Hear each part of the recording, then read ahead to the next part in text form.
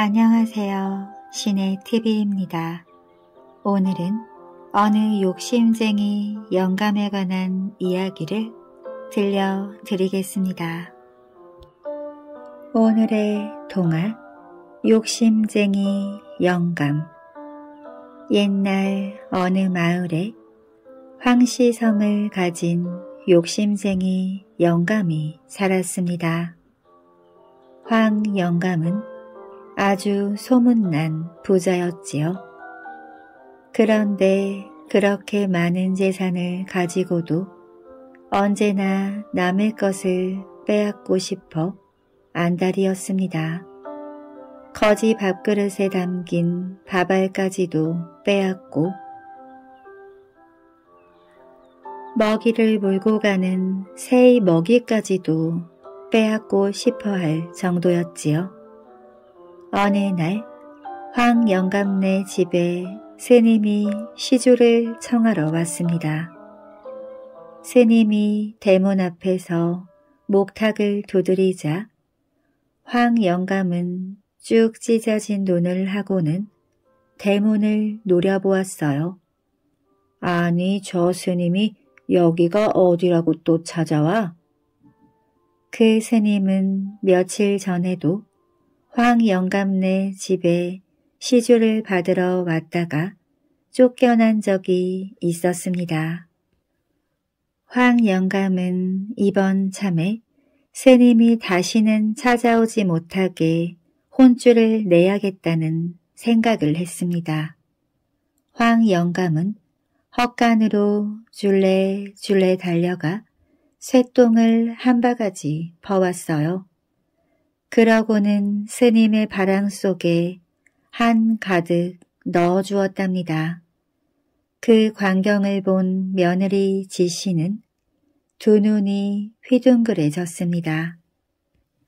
급하게 스님을 쫓아간 며느리는 스님, 잠깐만 기다리십시오. 하며 쌀을 한 바가지 퍼다 주며 시아버지의 죄를 용서해 달라고 빌었습니다. 그러자 지시를 물끄러미 바라보던 스님이 이렇게 말했습니다. 이 집은 이제 운이 다 하였습니다. 얼른 짐을 싸서 떠나십시오. 스님의 말을 들은 며느리 지씨는 덜컥 겁이 났습니다. 지씨는 스님의 말을 다른 식구들에게 전해 주었어요. 하지만 아무도 그 말에 귀를 기울이지 않았습니다. 며칠 뒤의 일이었어요. 지씨는 우연히 그때 그 스님을 만나게 되었습니다. 어허, 어째서 아직까지 떠나지 않은 것입니까? 크게 식구들에게 말해보았지만 아무도 귀를 기울여 주지 않아요. 부인, 이곳에 있다가는 큰 봉변을 당하게 될 것입니다. 그러니 어서 부인 혼자서라도 떠나십시오. 참, 이 집을 떠난 후에는 어떤 일이 있어도 뒤를 돌아보아서는 안 됩니다. 그날 저녁 지 씨는 어린 아들을 업고 집을 나섰습니다. 집에서 키우던 강아지 누렁이만 그 뒤를 줄레줄레 따라 나섰지요.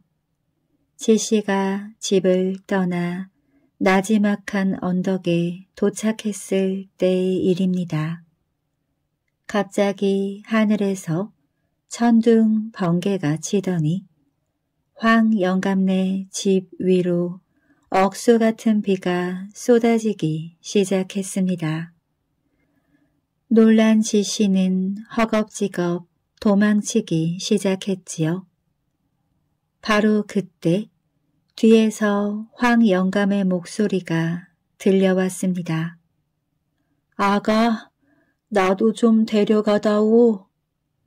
지씨는 걸음을 멈춘 채 망설였습니다. 어쩌지? 그렇다고 아버님을 혼자 두고 갈 수는 없어. 지씨는 망설임 끝에 뒤를 돌아보고 말았습니다. 순간 지씨의 몸이 딱딱하게 굳었어요. 몸이 돌로 변해버린 겁니다. 줄레줄레 뒤를 쫓아오던 강아지 누렁이도 돌로 변하고 말았지요. 이 바위를 미륵바위라고 합니다. 그리고 미륵바위 옆에는 개처럼 생긴 바위가 있는데 그 바위를 사람들은 개 바위라고 부르지요. 황 영감네 집은 어떻게 되었을까요? 황 영감이 살던 곳은 물에 잠겨서 땅속으로 가라앉아 버렸대요. 그 자리에는 연못 세 개가 생겼는데 이 연못을 황지라고 한답니다. 제일 위쪽 큰 연못은 집이 있던 터라서 마당 늪이라 부르고 중간 크기의 연못은 방앗간이 있던 자리라 해서 방간 늪이라 부른답니다. 맨 아래쪽 작은 연못은 화장실이 있던 자리라서 통시 늪이라고 부르고요. 이 연못은 1년에 한두 번씩 물이 누렇게 변하는데 그건 죽어서 이무기로 변한 황영감 때문이래요. 다른 사람들이 연못물을 퍼가지 못하도록 황영감이 심술을 부리는 거랍니다. 황영감네 집이 물에 잠겨서 생긴 이 연못의 물이 흘러 흘러 생긴 강줄기가 바로 낙동강이랍니다. 오늘의 동화 마음씨 고약한 너구리 옛날 일본의 어느 산골에 할아버지와 할머니가 살았습니다. 넉넉하진 않지만 두 사람은 작은 밭을 일구며 오순도순 행복했답니다. 그런데 언제부터인가 몹시 골치 아픈 일이 일어났습니다. 밭에 씨를 뿌려 놓으면 누군가 나타나 죄다 파헤쳐 놓았거든요. 대체 누가 이런 몹쓸 짓을 하는 거야?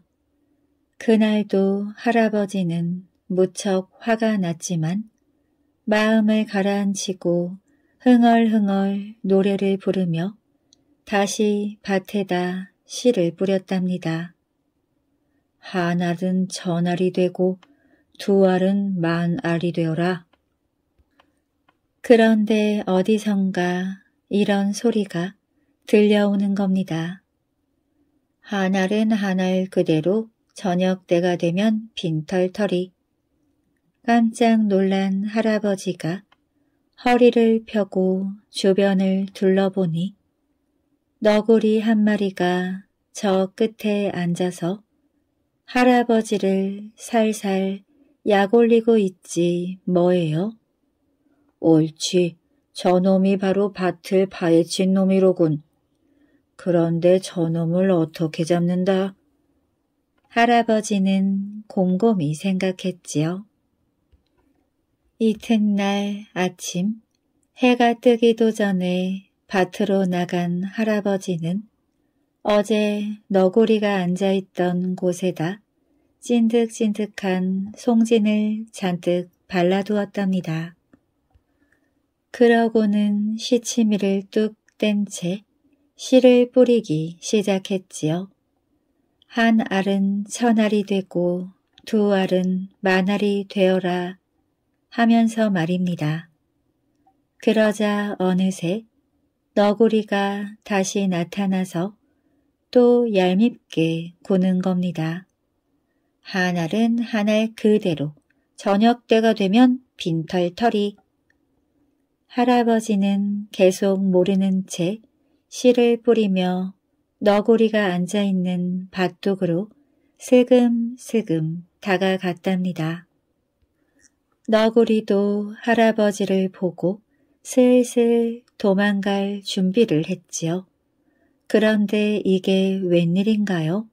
궁둥이가 바닥에 찰싹 달라붙어 떨어지질 않는 겁니다. 아니 이게 어떻게 된 일이지? 누가 여기에 이런 걸 발라놓은 거야? 너구리는 요리조리 궁둥이를 들썩이며 마구 발버둥을 쳤어요. 하지만 그러면 그럴수록 송지는 점점 더 끈적하게 너구리의 털에 달라붙었습니다. 그러는 사이 어느새 다가온 할아버지가 덥석 너구리를 잡았습니다. 요놈의 너구리 어디 혼 좀 나봐라. 할아버지는 너구리의 목을 획 틀어 쥐었습니다. 너구리는 캐캐 기침을 냈지만 할아버지는 들은 채도 하지 않고 소나귀에 힘을 더 꽉 주었답니다. 할아버지는 너구리를 등나무 덩굴로 꽁꽁 묶어 집으로 끌고 갔답니다. 여보, 할멈, 밭을 파헤치는 못된 너구리를 잡아왔소. 오늘 저녁엔 요놈을 가지고 우리 너구리탕이나 끓여 먹읍시다. 아이고, 그거 참 잘 됐네요. 고기 먹어본 지가 언제인지 까마득한데. 할머니가 짭짭 입맛을 다시며 좋아했습니다. 할아버지는 처마 밑에 너구리를 매달아 놓고 다시 밭으로 나갔지요. 내가 아주 맛있는 너구리탕을 끓여 놓을 테니 잘 다녀오시구려. 할머니는 신이 나서 할아버지를 배웅했습니다. 할아버지가 밭에 나가자 할머니는 뜰에다 절구를 내놓고 쿵덕쿵덕 방아를 찍기 시작했어요. 그때 너구리가 매달린 채로 말을 걸었답니다. 할머니, 방아 몇 번이나 찌으셔야 해요? 글쎄다, 두세 번은 더 찌어야 할 것 같구나. 혼자서 심심했던 할머니는 너구리의 말을 받아주었답니다. 세상에나 그렇게 많이요? 그걸 다 찌우시려면 안 그래도 아픈 할머니오리 너무 아프시겠다. 제가 좀 도와드릴까요? 어떻게 말이냐. 할머니는 의아해하며 너구리를 바라보았습니다. 저를 내려주시면 되죠.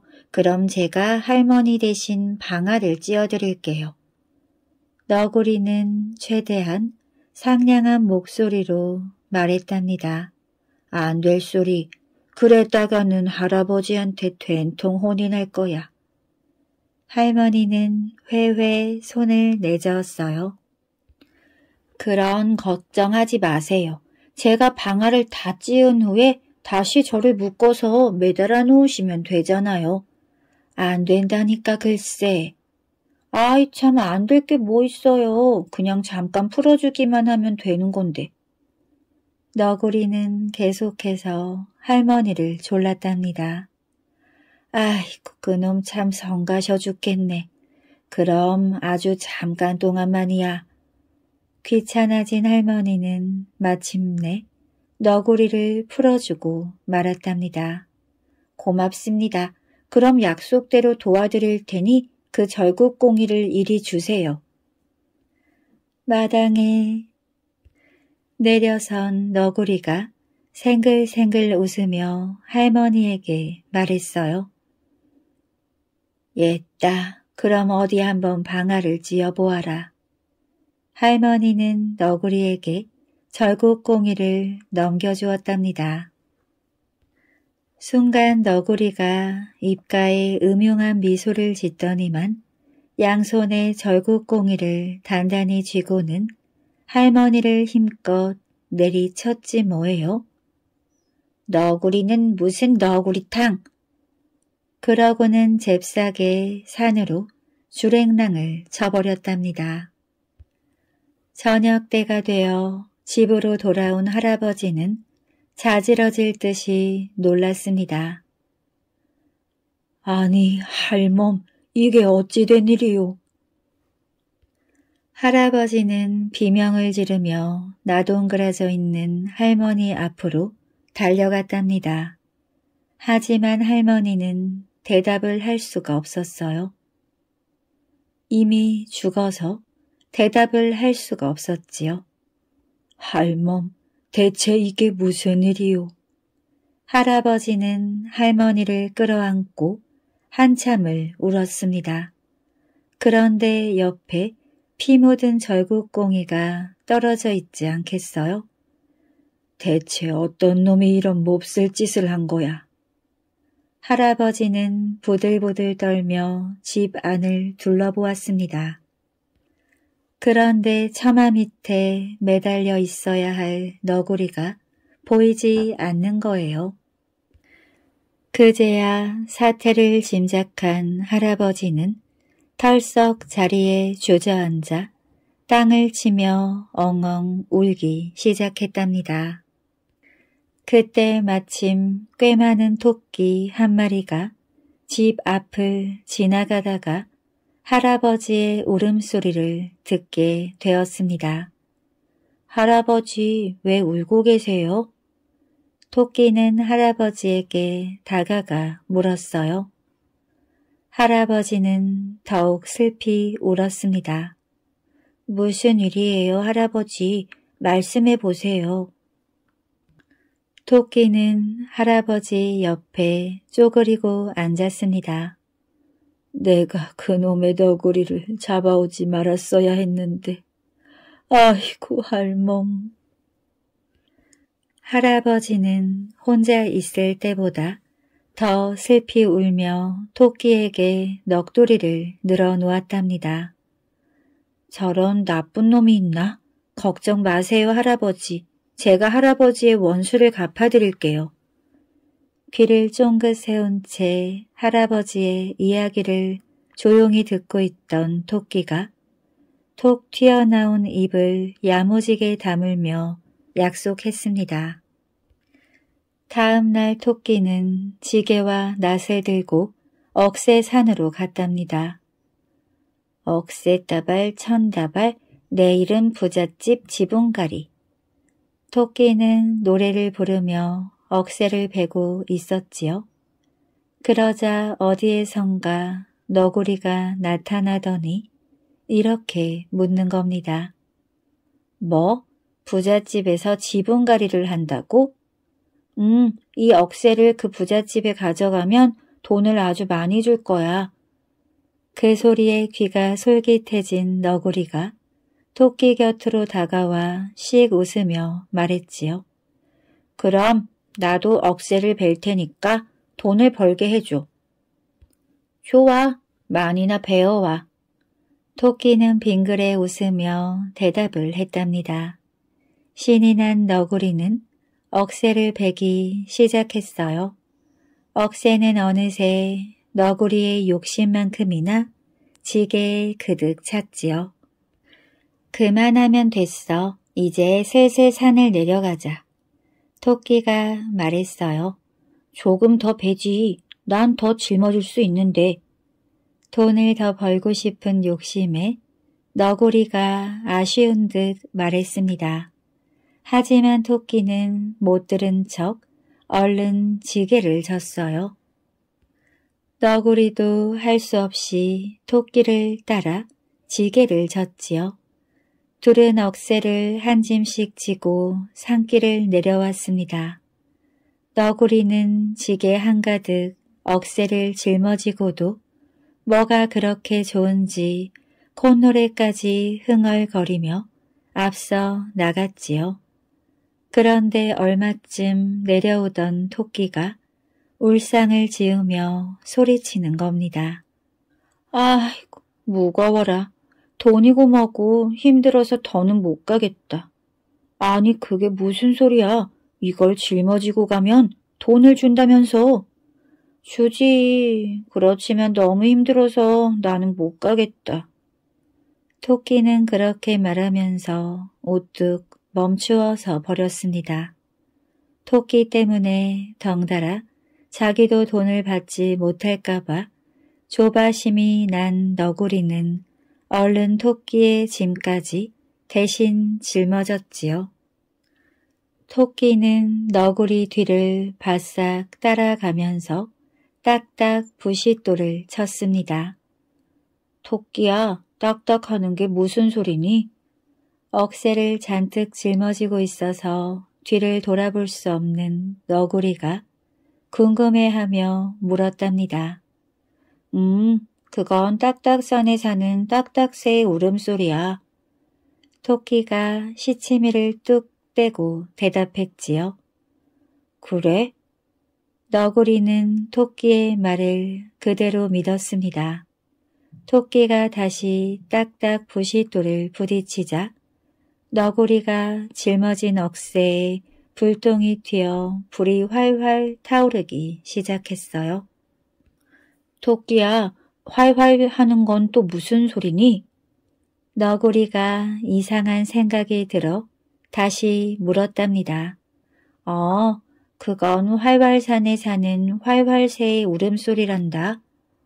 그렇게 말하고 토끼는 살그머니 도망을 쳐버렸답니다. 그런 사실을 알 턱이 없는 너구리는 불길이 털에 옮겨붙은 줄도 모르고 열심히 걸었어요. 그러니 털이 홀랑 탈 수밖에 없었지요.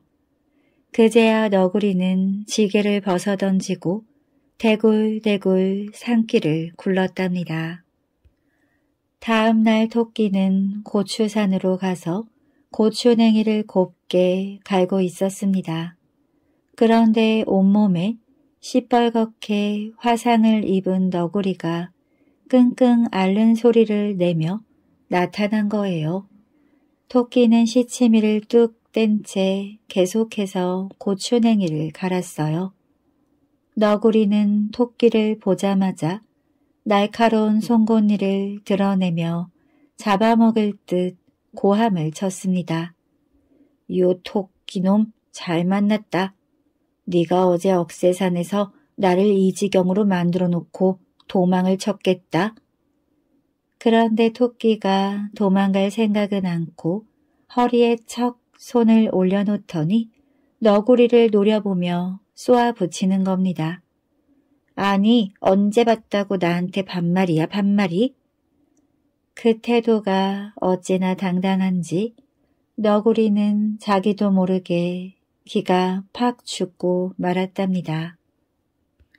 그래서 작은 목소리로 더듬거리며 물었어요. 억새산에서 나를 요 모양 요 꼴로 만들어 놓은 토끼가 너 아니 당신 아니세요? 그 무슨 얼토당토하는 소리야. 나는 억새산의 토끼가 아니라 고추산의 토끼란 말이야, 고추산. 토끼가 빽 소리를 질렀습니다. 내가 보기엔 똑같은데. 너구리는 긁적긁적 목덜미를 긁었지요. 세상에 비슷한 토끼가 어디 한두 마리니? 어쨌든 나는 억새산 토끼가 아니라 고추산 토끼라고. 확신에 찬 토끼의 말에 너구리는 감쪽같이 속고 말았습니다. 미안해. 내가 널 억새산의 토끼로 잘못 보았구나. 그런데 고추산의 토끼야. 불에 된 곳이 아파 죽겠는데 뭐 좋은 약이 없을까? 너구리는 울상을 지으며 물었습니다. 마침 내가 좋은 약을 만들고 있는데 잘 됐다. 그게 뭔데? 고추냉이라는 건데 이걸 불에 댄 상처에 바르면 금방 낫는단다. 특효약이지. 그런데 처음에는 좀 따가울 거야. 괜찮아. 빨리 발라줘. 너구리는 얼른 토끼 앞에 엎드렸습니다. 토끼는 터지려는 웃음을 애써 참으며 너구리의 등에다 척척 고추냉이를 발랐어요. 아, 따가워. 너구리는 비명을 질렀습니다. 하지만 금방 낫는다는 토끼의 말을 철석같이 믿고 찔끔찔끔 식은 땀을 흘리며 꾹꾹 참았지요. 토끼는 여전히 시치미를 뚝 떼고 듬뿍 듬뿍 고추냉이를 발랐어요. 아, 따가워라. 도저히 못 참겠다. 너구리는 더 이상 참지 못하고 얼른 냇물로 뛰어들었답니다. 그 사이 토끼는 어디론가 또 도망가 버렸지요.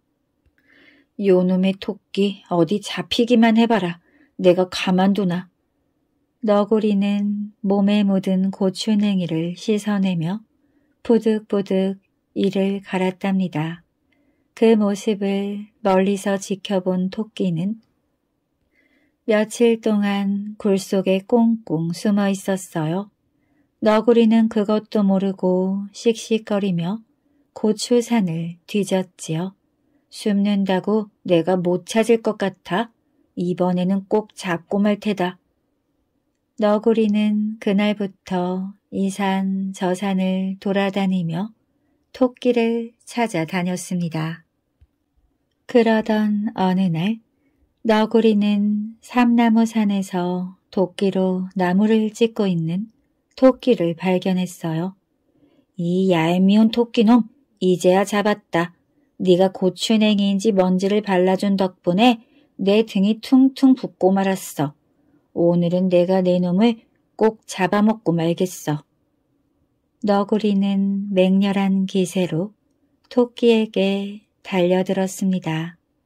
그런데 토끼가 번쩍 도끼를 들며 이러는 거예요.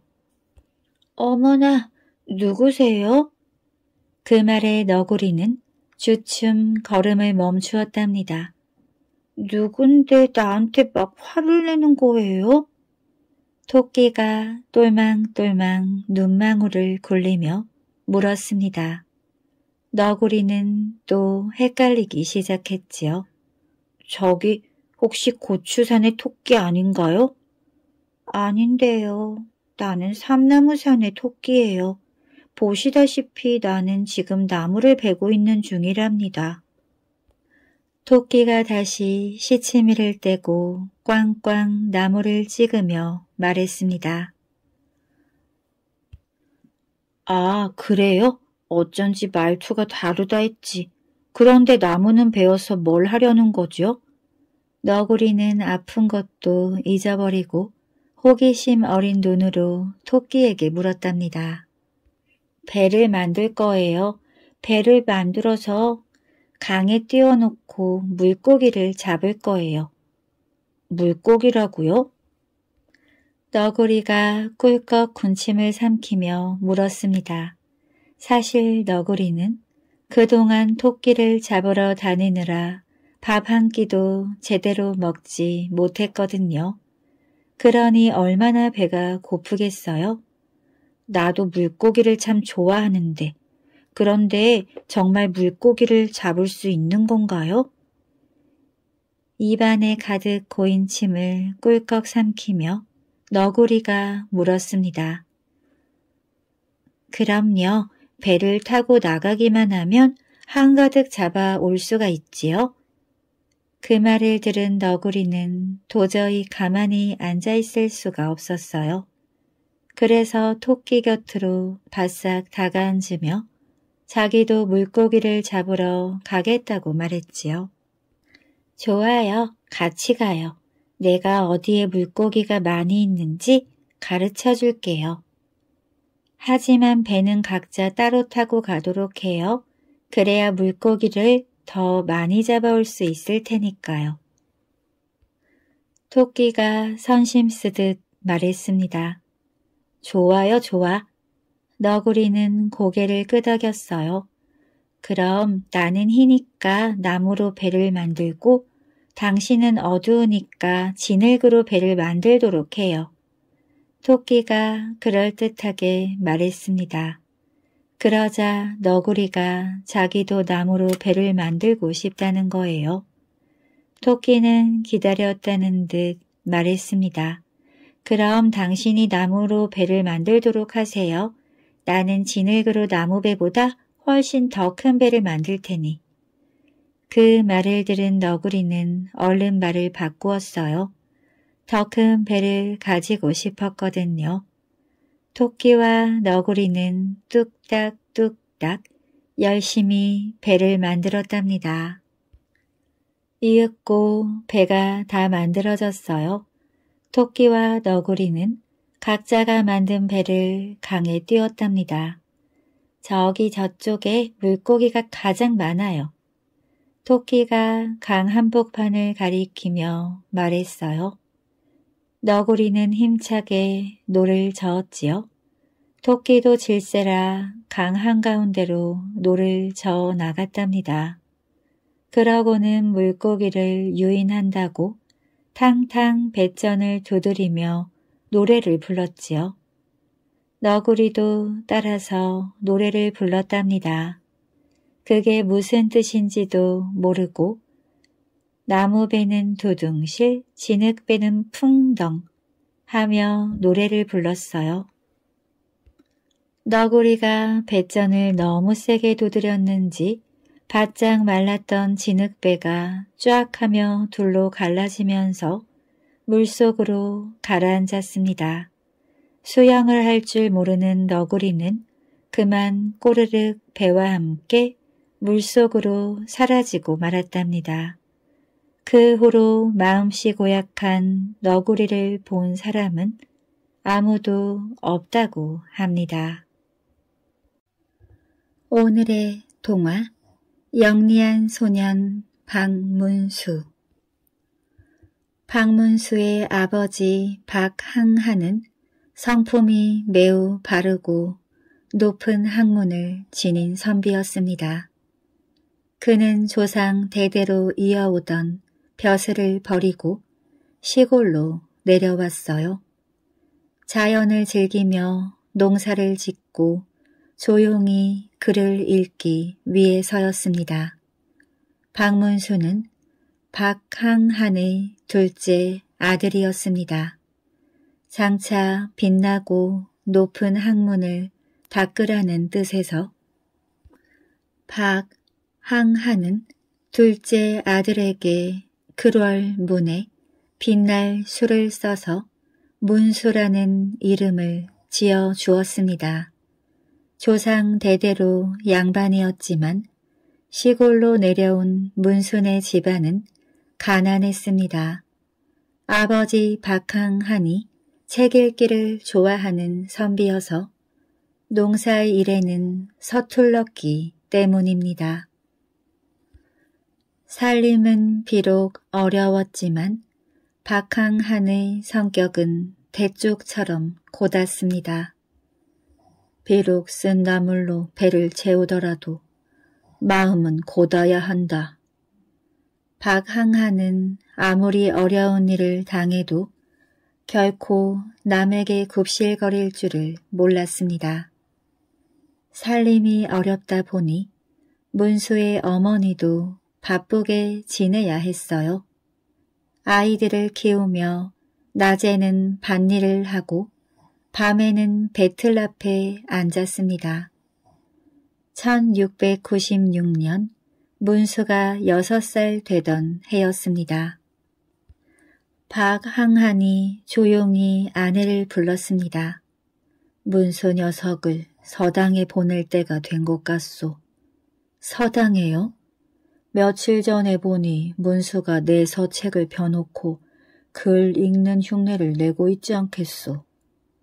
그렇지만 아직 이르지 않을까요? 문수의 어머니는 문수를 아직도 어린 애로만 생각하고 있었습니다. 그렇지만 선비인 박항한의 생각은 달랐어요.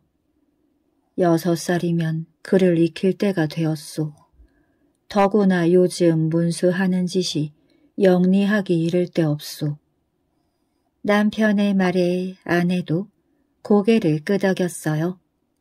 그때 마침 밖에서 문수의 기척이 들렸습니다. 문수야, 이리 들어온. 어머니가 문수를 방으로 불러들였습니다. 어머님, 부르셨습니까? 그래, 걔 좀 앉아라. 문수가 얌전히 무릎을 꿇고 앉았어요. 아버지 박항한의 눈에는 이런 문수가 무척 대견해 보였습니다. 문수야, 네가 몇 살이지? 예, 여섯 살이옵니다. 문수가 또렷한 목소리로 대답했습니다. 너도 이제 여섯 살이니 글을 읽을 때가 되었느니라. 아버지가 말을 마치고 문수를 내려다 보았습니다. 예? 제가 글을요? 문수의 얼굴에 환한 웃음꽃이 피었습니다. 왜 기쁘냐? 예, 아버님. 문수가 또렷이 대답했습니다.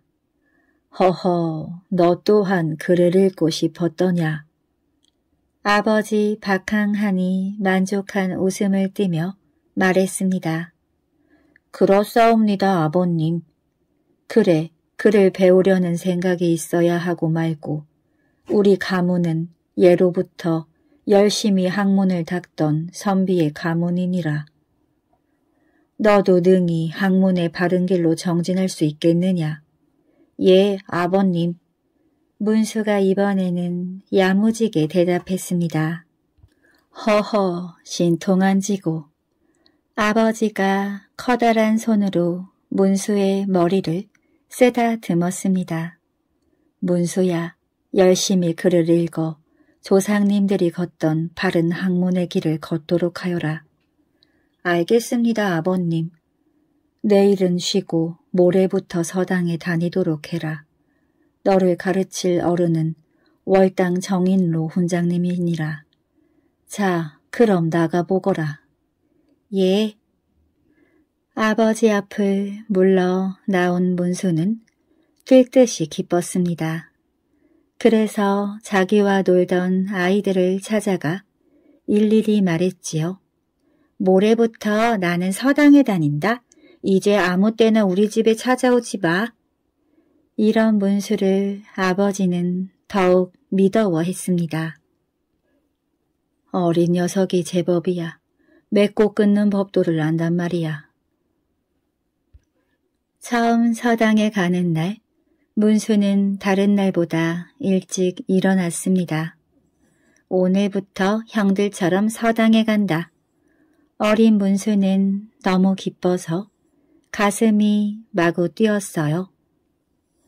그래서 서둘러 세수를 한 다음 서당에 가지고 갈 책을 챙겼습니다.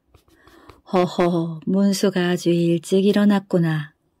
이런 문수를 보고 아버지는 무척 기특하게 생각했지요. 아침을 먹은 다음이었습니다. 문수야, 가자. 도포를 차려입은 아버지가 문수의 작은 손을 잡았습니다. 사람에게는 언제든지 첫 출발이 중요하단다. 알겠지? 예, 아버님. 어린 문수는 아버지의 가르침 하나하나를 꼭 실천하려고 애를 썼습니다.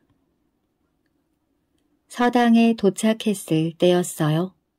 아버지 박항하는 서당 훈장인 정인로에게 깍듯이 예의를 차렸습니다. 문수는 훈장님 앞에 무릎을 꿇고 앉았지요. 아직 어려서 모자람이 많습니다. 부디 바른 가르침을 주십시오. 박항한의 말에 훈장인 정인로도 깍듯이 예의를 차렸습니다. 성의껏 가르치겠습니다. 그날부터 문수는 정인로 훈장에게서 글을 배웠습니다. 박문수가 다니게 된 서당은 월당이라는 이름을 가지고 있었습니다. 월당의 훈장 정인로는 시골에서는 보기 드문 뛰어난 학자였어요. 수연이라는 호를 가진 정인로는 학문에도 뛰어날 뿐 아니라 사람과 사회를 보는 안목도 뛰어난 인물이었습니다. 사실 박문수가 벼슬길에 올라 뛰어난 업적을 세우게 된 것은 스승인 정인로의 영향이 컸어요.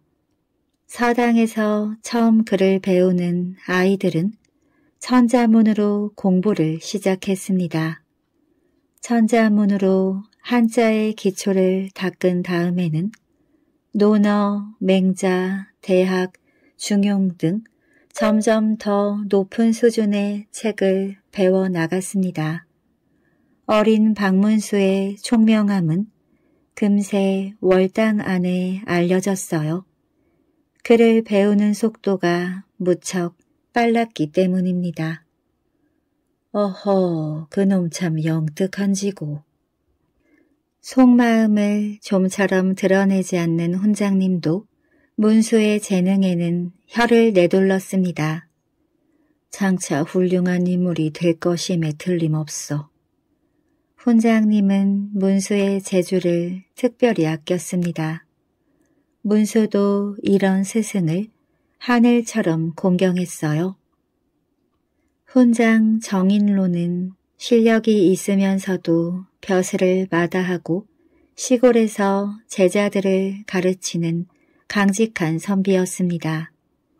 그는 제자들이 글을 읽는 틈틈이 훌륭한 인품을 가꾸고 세상 보는 눈을 높일 수 있도록 애를 썼습니다. 글을 읽던 아이들이 지루해하는 여름 한낮이면 가끔씩 교훈이 담긴 이야기를 들려주곤 했답니다.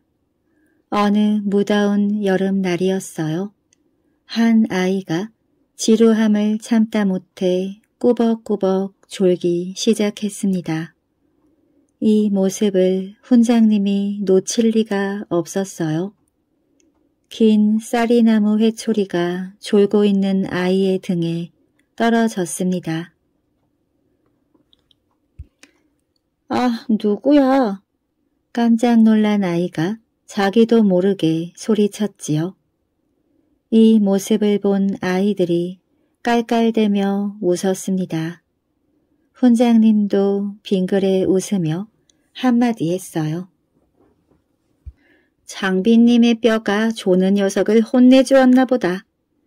그러자 지루해하던 아이들의 눈이 반짝 빛났습니다. 스승님, 장비의 뼈가 다녀갔나요? 장비의 뼈는 송구의 서안 땅에 묻혀 있다. 아이들이 벌떼처럼 일어나 묻는 데에는 까닭이 있었습니다. 잘하면 재미있는 홍자님의 이야기를 한마디쯤 얻어 들을 수 있지 않을까 해서였지요. 그래서 훈장님도 이야기를 시작한 것입니다. 먼 옛날 중국 어느 고장에서 있었던 일이란다. 어느 날 마음씨 착한 나그네가 길을 걷고 있었어. 그런데 호젓한 산길을 걷다 보니 얼마 전에 심한 홍수가 났었는지 허연 사람의 뼈가 여기저기 흩어져 있지 않겠어. 땅 속에 있던 뼈들이 홍수가 나는 바람에 흙이 씻겨 내려가 땅 위로 드러난 거지. 마음씨 착한 나그네는 흙 위로 드러난 뼈들을 하나하나 주워 모아 야트막한 산자락에 묻어주었다. 그런데 그날 밤이었어. 나그네가 주막에서 잠을 자는데 꿈에 어여쁜 여인이 나타나 이렇게 말했지. 저는 오늘 낮에 선비님께서 땅에 묻어주신 뼈의 주인입니다. 정말 고맙습니다. 어여쁜 여인의 말에 나그네는 고개를 절레절레 저었어. 고맙기는요. 길을 가다가 뼈가 있기에 나그네가 더듬더듬 다음 말을 이으려 하자 여인이 생긋 웃으며 말했어. 고마운 나그네님께 조그만 선물이라도 드리고 싶습니다. 이 주막에서 남쪽으로 오리쯤 가면 큼직한 바위가 하나 있습니다. 그 바위의 남쪽 뿌리를 파보세요. 말을 마친 여인은 다시 한번 고개를 숙여 인사한 다음 슬그머니 사라졌지. 정말 이상한 꿈이로다. 이튿날 잠에서 깨어난 나그네는 여인이 알려준 바위를 향해 어슬렁어슬렁 걸어갔다. 오리쯤 가다 보니 정말 큼직한 바위가 나타났어. 이 바위의 남쪽 뿌리라고 했지? 나그네는 여인의 말을 기억해가며 바위 뿌리 밑을 조금 봤을 때였어. 아! 나그네는 깜짝 놀랐지. 그 속에서 번쩍번쩍 빛나는 황금덩이가 나온 거야. 나그네는 금세 부자가 되었어. 그런데 그 이야기를 욕심쟁이 친구가 들은 거야. 쉽게 돈을 벌 수 있겠구나. 그 정도라면 나도 할 수 있지. 욕심쟁이 친구도 불이 나게 뼈를 찾아 나섰어. 재수가 좋았던 그 친구도 마침 땅 위에 흩어져 있는 뼈들을 찾아냈어. 뼈를 찾은 욕심쟁이 친구는 덩실덩실 춤까지 주었단다. 내게도 황금덩이가 있는 곳을 어서 어서 알려다오. 뼈들을 모아 땅속에 묻어준 친구는 해가 지자마자 잠자리에 들었지. 아름다운 여인아 어서 어서 나타나다오. 욕심쟁이 친구도 곧 꿈을 꾸게 되었지. 그런데 꿈속에 나타난 것은 어여쁜 여인이 아니었어. 눈이 왕방울같이 크고 수염이 쌀이비처럼 솟아난 무서운 장수가 불쑥 나타나더니 벼락같이 소리쳤어. 이 욕심쟁이야, 나는 그 유명한 장비 어른이다. 하도 오랫동안 땅 속에만 묻혀 있어 심히 답답하기로 시원한 바람이나 쐬려고 나왔는데 왜 내 뼈를 땅 속에 묻은 거냐? 나를 당장 다시 꺼내놓지 않으면 내 놈의 목을 비틀어 놓을 테다. 아, 알겠습니다, 장군님. 욕심쟁이 친구는 후다닥 꿈에서 깨어나 묻어두었던 장비의 뼈를 허둥지둥 꺼내놓았지. 휴, 내가 엉뚱한 일을 저질렀구나. 이야기를 마친 혼장님이 아이들을 둘러보며 말했습니다. 욕심을 앞세우면 아무리 땀 흘려 일을 마쳐도 자기의 공이 되지 못한다. 박문수가 아홉 살이 되던 해였습니다. 아버지가 병으로 몸져 누웠어요. 온 가족이 정성을 다하여 아버지를 간호했습니다. 어린 문수도 서당에 다녀와서는 꼭 아버지 곁에만 붙어 있었습니다. 그러나 아버지의 병은 깊어만 갔어요. 어린 문수는 글 읽기도 잊은 채 병 간호에 열중했습니다. 이런 문수의 행동을 알아놓은 아버지가 모를 리 없었지요. 문수야. 아버지가 바짝 마른 손으로 문수의 손을 잡았습니다. 예, 아버님. 문수도 작은 손으로 아버지의 손을 꼭 잡았지요. 나무가 크게 자라려면 거센 비바람도 이겨내야 하는 법. 너는 작은 일에 결코 흔들리지 말고 큰 뜻을 이루거라. 어린 문수는 아버지의 말뜻을 얼른 알아듣지 못했습니다. 문수가 눈을 깜빡이고 있자 아버지가 다시 입을 열었어요. 너는 이 아버지가 죽더라도 너무 슬퍼하거나 낙심하지 마라. 이런 일들로 그릴 길을 게을리하면 안 된다. 나무가 크게 되려면 거센 비바람도 이겨내야 하느니라. 그제야 박문수는 조금 전에 들었던 아버지의 말뜻을 어렴풋이 깨달았습니다. 알겠사옵니다, 아버님. 결코 그릴 길을 게을리하지 않겠사옵니다. 영특한 녀석, 이젠 안심이구나. 문수의 대답이 만족스러웠던지 아버지의 입가에 희미한 미소가 흘렀습니다. 아버지 박항하는 어린 문수가 자기를 얼마나 믿고 따르는지 잘 알고 있었어요.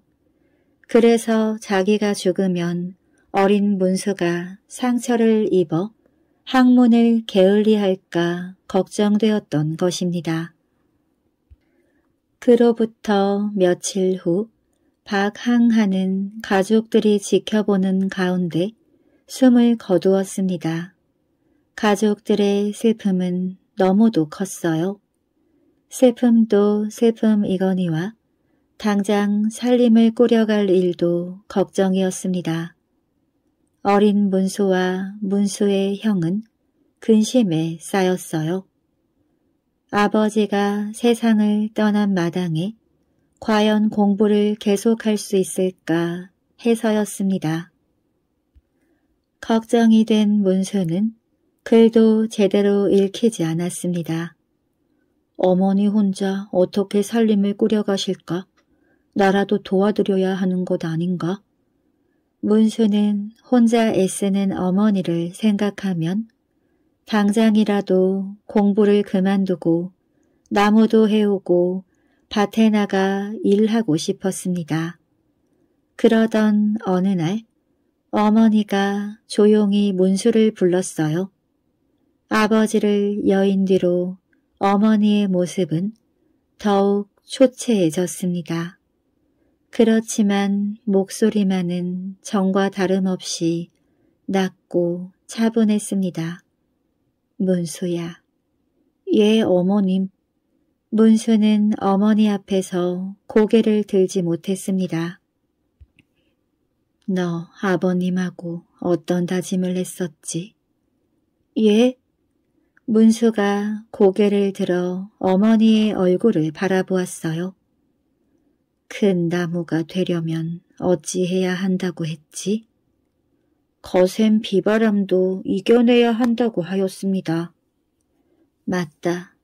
지금 그 거센 비바람을 이겨낼 때가 되었느니라. 문수는 잠자코 어머니의 얼굴빛만 살폈습니다. 어머니의 말이 다시 이어졌어요. 그런데 요즘 너는 그렇지를 못해. 아버님이 돌아가신 뒤로 책을 멀리하고 있어. 사람이 죽고 사는 것은 하늘에 달린 일. 이런 일쯤 견뎌내지 못한다면 장차 어찌 큰 일을 이루겠느냐. 죄송합니다, 어머님. 그러나 그만 살림은 내가 맡아 한다. 너는 살림 걱정 말고 열심히 학문이나 닦도록 하여라. 예, 알겠습니다. 이치에 맞는 어머니의 당부에 문수는 따를 수밖에 없었습니다. 그날부터 문수는 아버지를 여인 슬픔을 사귀며 다시 글 읽기를 시작했어요. 이런 문수를 보고 훈장님도 무척 기뻐하였습니다. 엄, 그래야지. 그게 아버지에 대한 효도야. 1712년 봄, 어느덧 박문수도 22살의 청년이 되었습니다. 그해 월당의 훈장님이 병석에 누웠어요. 훈장님이 쓰러지셨어. 월당하니 갑자기 뒤숭숭해졌습니다. 훈장님이 알아눕자 학생들은 공부를 할 수 없었어요. 훈장님께서는 회복되기 힘들 거래. 훈장님이 병석에 눕자 누구보다도 슬퍼한 사람은 박문수였습니다. 18살이 되던 해에는 훈장님의 중매로 홍금순 교수와 결혼까지 한 박문수였어요. 박문수는 친아버지를 간호하듯 훈장님의 병간호에 정성을 쏟았습니다. 훈장님, 어서 일어나셔야지요. 밤새워 간호해주는 문수의 말에 훈장님은 고개를 저었습니다. 이제는 안 돼. 때가 됐어. 혼장님의 말에 문수는 가슴이 덜컥 내려앉았어요. 안 됩니다, 스승님. 이 월당의 많은 제자들은 어찌하라고. 문수의 말에 훈장님은 고개를 저었습니다. 우리 월당을 맡을 사람은 벌써 정해져 있네. 가까이 와보게. 말하기조차 힘겨워하는 훈장님은 리더운 제자 문수를 가까이 불렀습니다. 예, 훈장님. 훈장님은 박문수의 손을 꽉 끌어 잡았어요. 이 월당을 이끌어갈 사람은 바로 자네야. 부디 월당 서당을 잘 이끌어주게. 예, 제가 월당을... 아닙니다. 훈장님, 이 월당은 저보다 훨씬 훌륭한 학자가 이끌어가야 합니다. 그렇지만 문수의 말에 늙은 훈장은 고개를 저었습니다. 문수, 자네는 이 월당을 이끌어 갈 만한 훌륭한 제목이야. 부디 이 월당을 이끌어 주게. 자, 어서 대답해 주게. 박문수는 죽음을 앞둔 혼장님의 간곡한 부탁을 거절할 수가 없었습니다. 부족하지만 훈장님이 남겨주신 월당을 위해 온 힘을 바치겠사옵니다.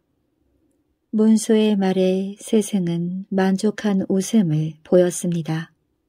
고맙네. 자네는 틀림없이 이 월당의 이름을 드높일 거야. 평생을 월당에서 제자들만을 가르치던 훈장님이 마침내 눈을 감았습니다. 박문수는 스승의 말대로 월당의 훈장이 되어 제자들을 가르치기 시작했어요. 그러나 박문수는 월당의 훈장으로 만족하지 않았습니다. 낮에는 제자들을 가르치고 밤에는 늦게까지 학문을 닦았어요. 박문수의 아내는 이런 남편이 걱정되어 견딜 수가 없었습니다. 그래서 어느 날 조용히 남편에게 말했습니다. 몸을 보살피셔야지요. 건강을 잃고서야 하늘같이 높은 학덕인들 무슨 쓸모가 있겠습니까? 아내의 말에 박문수는 빙글에 웃었습니다. 부인 염려 마시오. 건강에 신경 쓰리다. 하지만 나에게는 아버님, 스승님과의 약속이 있다오. 알겠습니다. 아내는 더 이상 말을 할 수 없었어요. 남편의 속마음을 훤히 알고 있기 때문입니다. 과거 급제 청년 박문수는 과거에 급제하는 것이 아버지에게 효도하고 스승의 은혜에 보답하는 길이라고 굳게 믿고 있었습니다. 조선시대의 과거에는 세 가지가 있었어요. 문장을 시험 보는 문과와 무술 시험인 묵과, 의술이나 과학 등 기술을 시험 보는 잡과였습니다. 그 중에서 문과가 으뜸이었는데 문과에는 양반의 자제들만 응시할 수 있었습니다. 박문수는 25살이 되어 처음으로 과거에 응시하였어요. 그렇지만 합격하기는 쉽지 않았습니다. 전국에서 학문을 높이 쌓은 응시자들이 구름처럼 모여들었기 때문입니다. 처음 응시한 시험에서 박문수는 낙방하고 말았어요. 28살이 되던 해에 다시 응시하였지만 또 낙방이었습니다. 그렇지만 박문수는 낙심하지 않았어요. 내 학문이 아직 너무 얕구나. 박문수는 더욱 열심히 학문을 닦았습니다. 1723년 봄 박문수가 32살이 되던 해였어요. 한양에서 과거가 열린다는 소식이 박문수의 귀에 들려왔습니다. 이번에는 실패하지 말아야 한다. 박문수는 서둘러 한양으로 향했습니다. 한양의 시험장은 수많은 응시자들로 북적거렸어요. 시간이 되어 응시자들이 자리를 잡자 지을 글의 제목이 높이 내걸렸습니다. 낙조, 즉 저녁 노을이란 뜻이었어요. 제목이 내걸리자 응시자들은 글짓기에 골몰했습니다. 박문수도 더 좋은 글을 쓰려고 심혈을 기울였어요. 좋은 글이 떠오른 사람들은 준비한 붓에 미리 갈아두었던 먹물을 듬뿍 찍어 글을 썼습니다. 쓰기를 마친 사람들은 자기가 쓴 글을 제출하고 자리를 떴습니다. 박문수도 정성 들여 쓴 글을 제출했지요. 드디어 시험 결과를 발표하는 시간이 되었습니다. 사람들은 숨을 죽이고 결과를 기다렸습니다. 음음. 마침내 시험 결과를 알려줄 관리가 나타났어요. 그의 손에는 큼직한 두루마리가 들려 있었습니다. 순간 장내는 물을 끼얹은 듯 조용해졌지요. 관리가 들고 온 금방을 내걸었습니다. 사람들에게서 환호성이 터져 나왔어요. 장원급제는 박문수라는 사람이야. 결국 박문수가 장원급제를 하게 되었답니다. 오늘의 동화 메뚜기 이마가 벗겨진 이유 옛날에는 개미의 허리가 굵고 황새의 주둥이가 짧고 메뚜기의 이마에 털이 숭숭 나 있었습니다. 그런데 어째서 개미 허리는 잘록해지고 황새 주둥이는 길쭉해지고 메뚜기 이마는 벗겨지게 되었는지 이야기를 읽어보면 알 수 있답니다. 하루는 개미가 친구인 황새와 메뚜기를 불렀답니다. 개미야, 무슨 일로 우리를 오라고 했니? 너희들에게 맛있는 걸 대접하려고 불렀지. 그런데 음식이 어디 있다는 거야? 개미는 빙글에 웃고만 있었습니다. 때마침 밥과 반찬이 든 광주리를 머리에 인 아주머니가 타박타박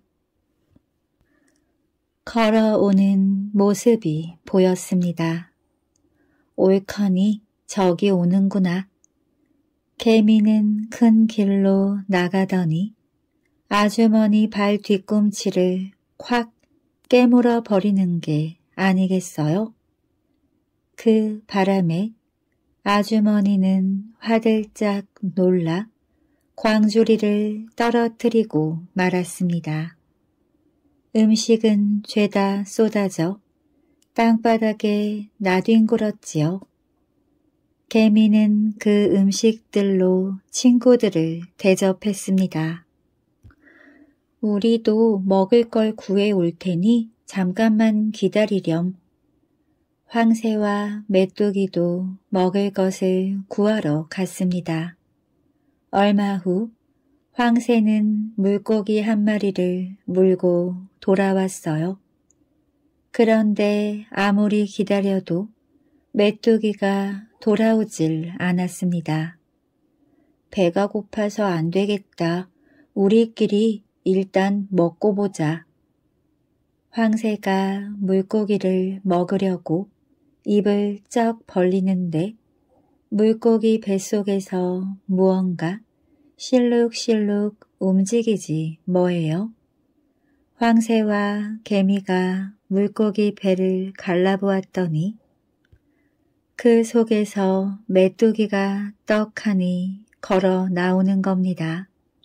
메뚜기야, 이게 어찌 된 일이야? 아, 물고기를 잡으려다가 그만. 메뚜기는 이마에 맺힌 땀을 닦으며 말했습니다. 그러니까 메뚜기가 물고기를 잡으려다가 되레 물고기한테 잡아먹혔던 모양입니다.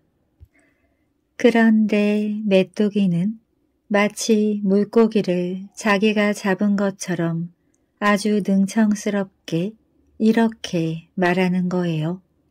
자자 이럴 게 아니라 어서 먹으렴. 그 꼴을 본 황새가 기분이 좋을 리 없었습니다. 메뚜기야, 이 물고기는 내가 잡은 거야. 내가 아니었다면 넌 꼼짝없이 물고기 밥이 됐을 거라고. 무슨 소리야. 내가 물고기 뱃속에 들어갔으니 내가 잡은 거지. 메뚜기는 땀이 뻘뻘 나는 이마를 쓸어 넘기며 황새는 주둥이를 뾰로통하게 내밀며 둘은 참으로 오랫동안 옥신각신 다투었습니다. 그러다 보니 메뚜기는 이마가 홀랑 벗겨지고 황새는 주둥이가 길쭉해지고 말았어요. 그럼 개미의 허리는 어째서 잘록해졌을까요? 황새랑 메뚜기랑 아웅다웅 티격태격 다투는 꼴이 너무 우스워서 배를 움켜잡고 깔깔 웃다 보니 그만 허리가 잘록해지고 말았답니다. 오늘의 동화 메추라기와 여우 옛날 어느 깊은 산속에 여우 한 마리가 살았습니다. 하루는 여우가 배가 고파 산속을 어슬렁거리다가 모이를 쪼아먹고 있는 메추라기 한 마리를 발견했어요. 여우는 살금살금 다가가 메추라기를 덮쳤습니다. 고놈 참 맛있겠다. 여우야, 여우야, 날 좀 살려주렴. 그럼 내가 배도 부르게 해주고 우습게도 해주마. 그 말에 귀가 솔깃해진 여우는 메추라기를 놓아주었지요. 메추라기는 여우를 데리고 산 밑으로 갔습니다. 그리고 풀숲에 가만히 숨은 채 꼼짝도 하지 않고 무언가를 기다렸답니다. 메추라기야, 대체 무얼 하려는 거니?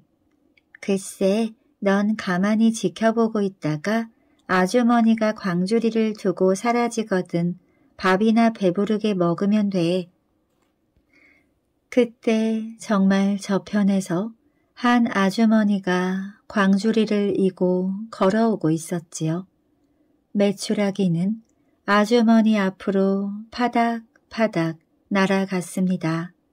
그러자 아주머니가 손을 뻗어 매추라기를 잡으려고 했어요. 메추라기는 푸드덕 날갯짓을 하며 날아오르더니 한 발짝쯤 떨어진 곳에 도로 내려앉지 뭐해요. 약이 바짝 오른 아주머니는 광주리도 내팽개치고 메추라기를 잡으려고 달려갔습니다. 옳커니 아주머니가 사라지면 밥을 먹으라고 했지. 여우는 광주리에 있는 음식들을 냉큼 주워 먹었답니다.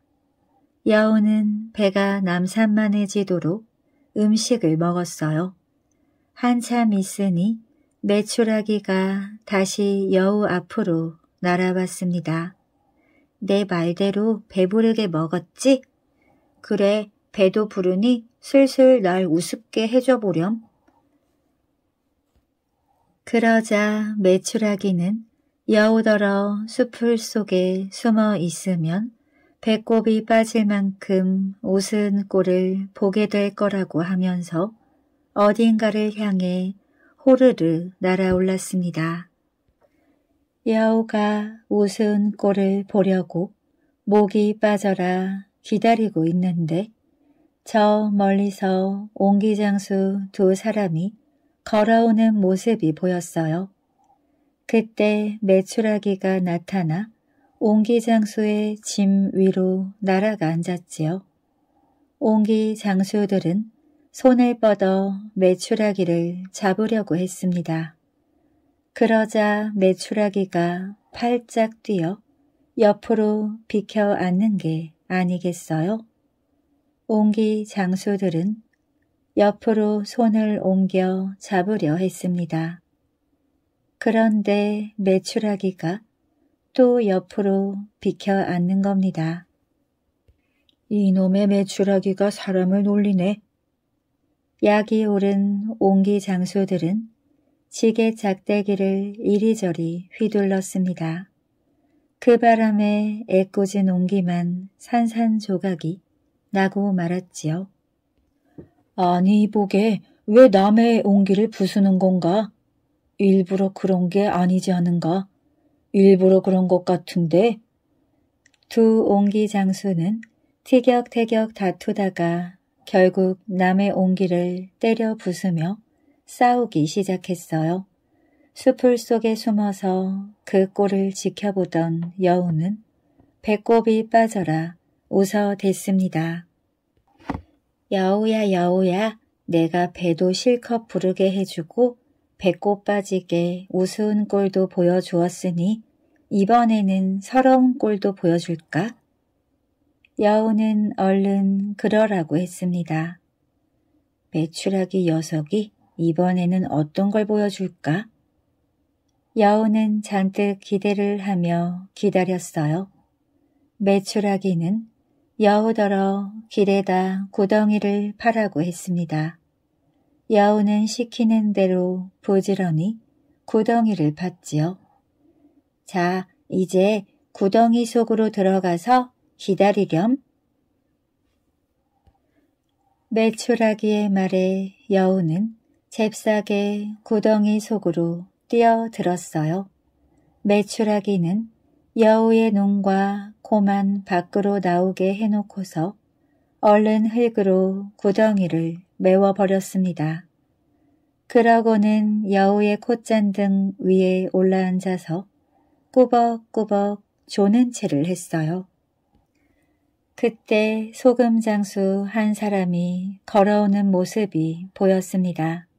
소금 장수는 매출하기가 졸고 있는 것을 보고 지게 작대기로 재빨리 매출하기를 내리쳤습니다. 그 순간 매출하기가 호르르 날아올랐지요. 매출하기가 날아올라 여우가 콧잔등을 얻어맞았습니다. 여우는 눈물이 찔끔 나올 정도로 아팠어요.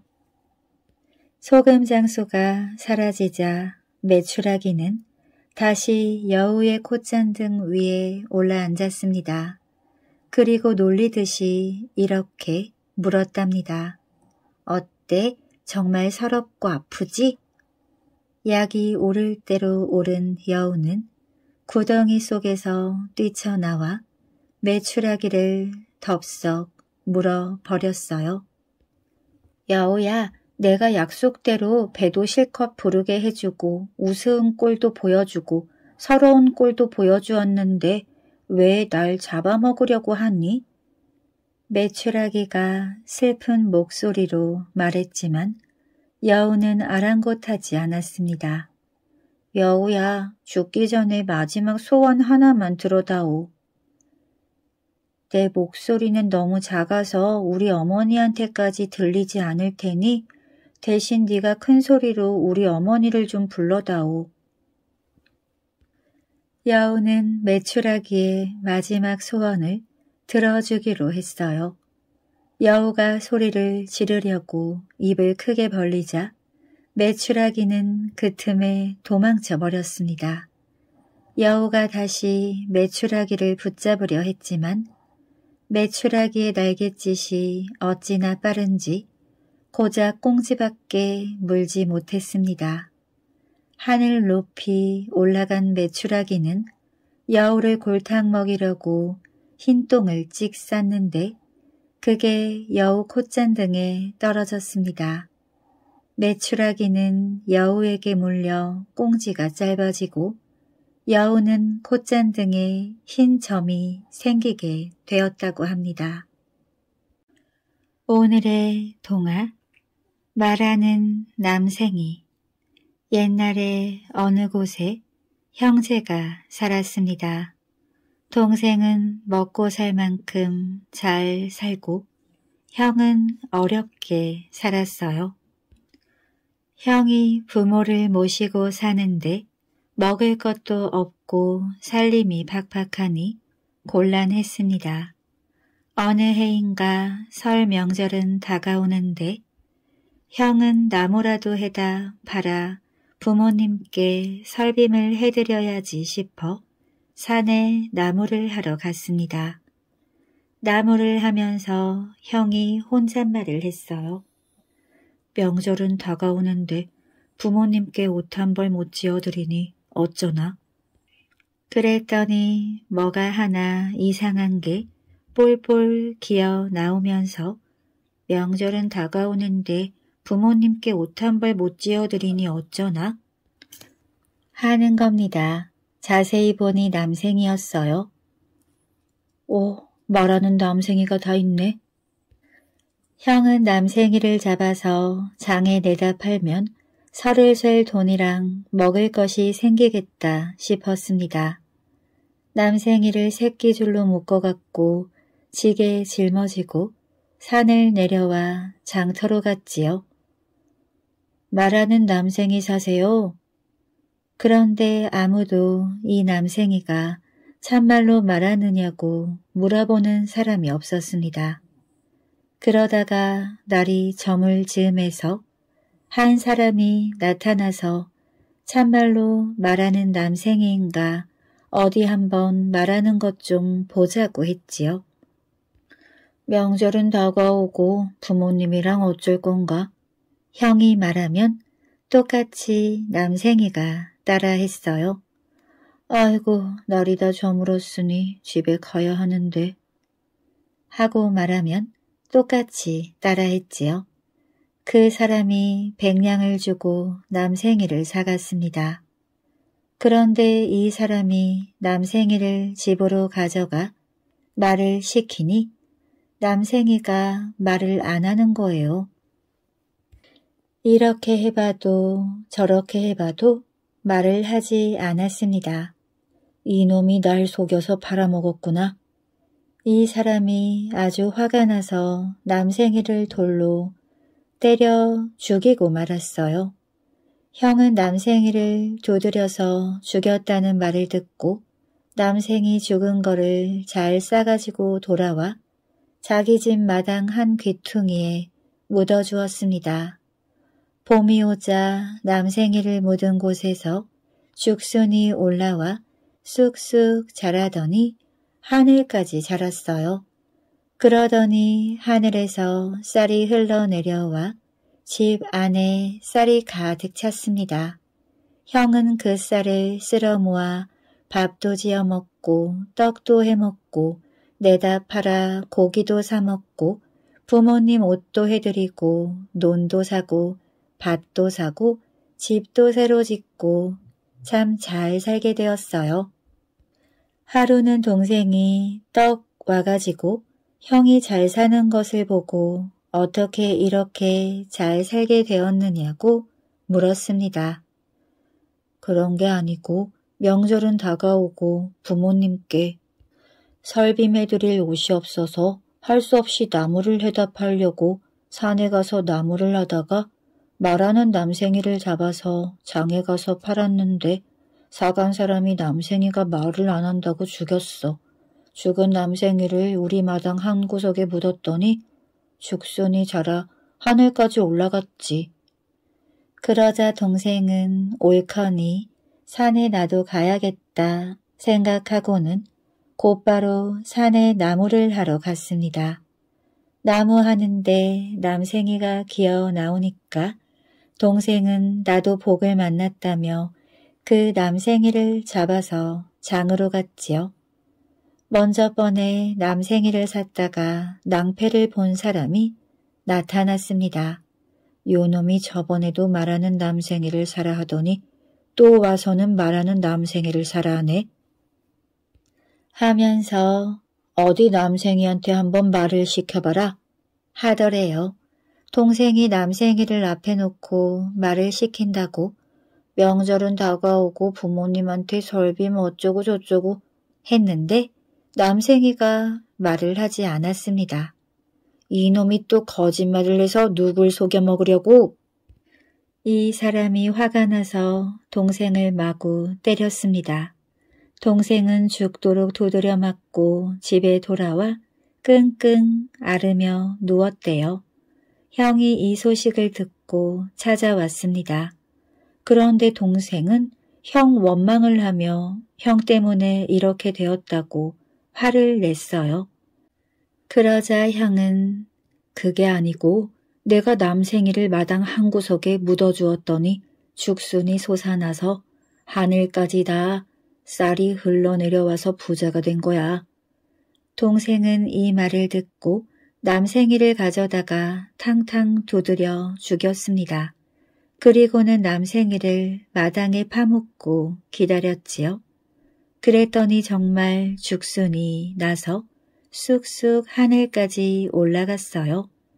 그런데 쌀은 흘러내리지 않고 똥덩어리가 흘러내리기 시작했어요.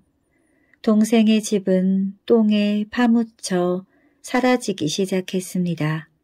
결국 동생은 똥에 파묻혀 영원히 사라졌다고 합니다. 오늘의 동화 개구리 바위 금강산 온정리에 가면 달걀처럼 생긴 바위산이 있습니다. 사람들은 이 산을 달걀 바위산이라고 부르지요. 이 달걀 바위산 기슭에 작은 우물 하나가 있습니다. 우물 속에는 개구리 열 마리가 살았지요. 개구리들은 우물 밖에 나가 본 적이 없었습니다. 그저 우물 위로 보이는 동그란 하늘이 세상의 전부라고 생각했어요. 그러던 어느 날 우물에 까마귀 한 마리가 날아왔습니다. 까마귀는 개구리들에게 우물밖 세상 이야기를 들려주었어요. 오색꽃이 피어나는 봄, 초록색 잎사귀가 우거지는 여름, 울긋불긋 단풍이 드는 가을과 하얀 눈이 내리는 겨울. 이 세상은 아름다운 것들 천지란다. 참말이야? 참말 그렇게 신기한 세상이 있단 말이야?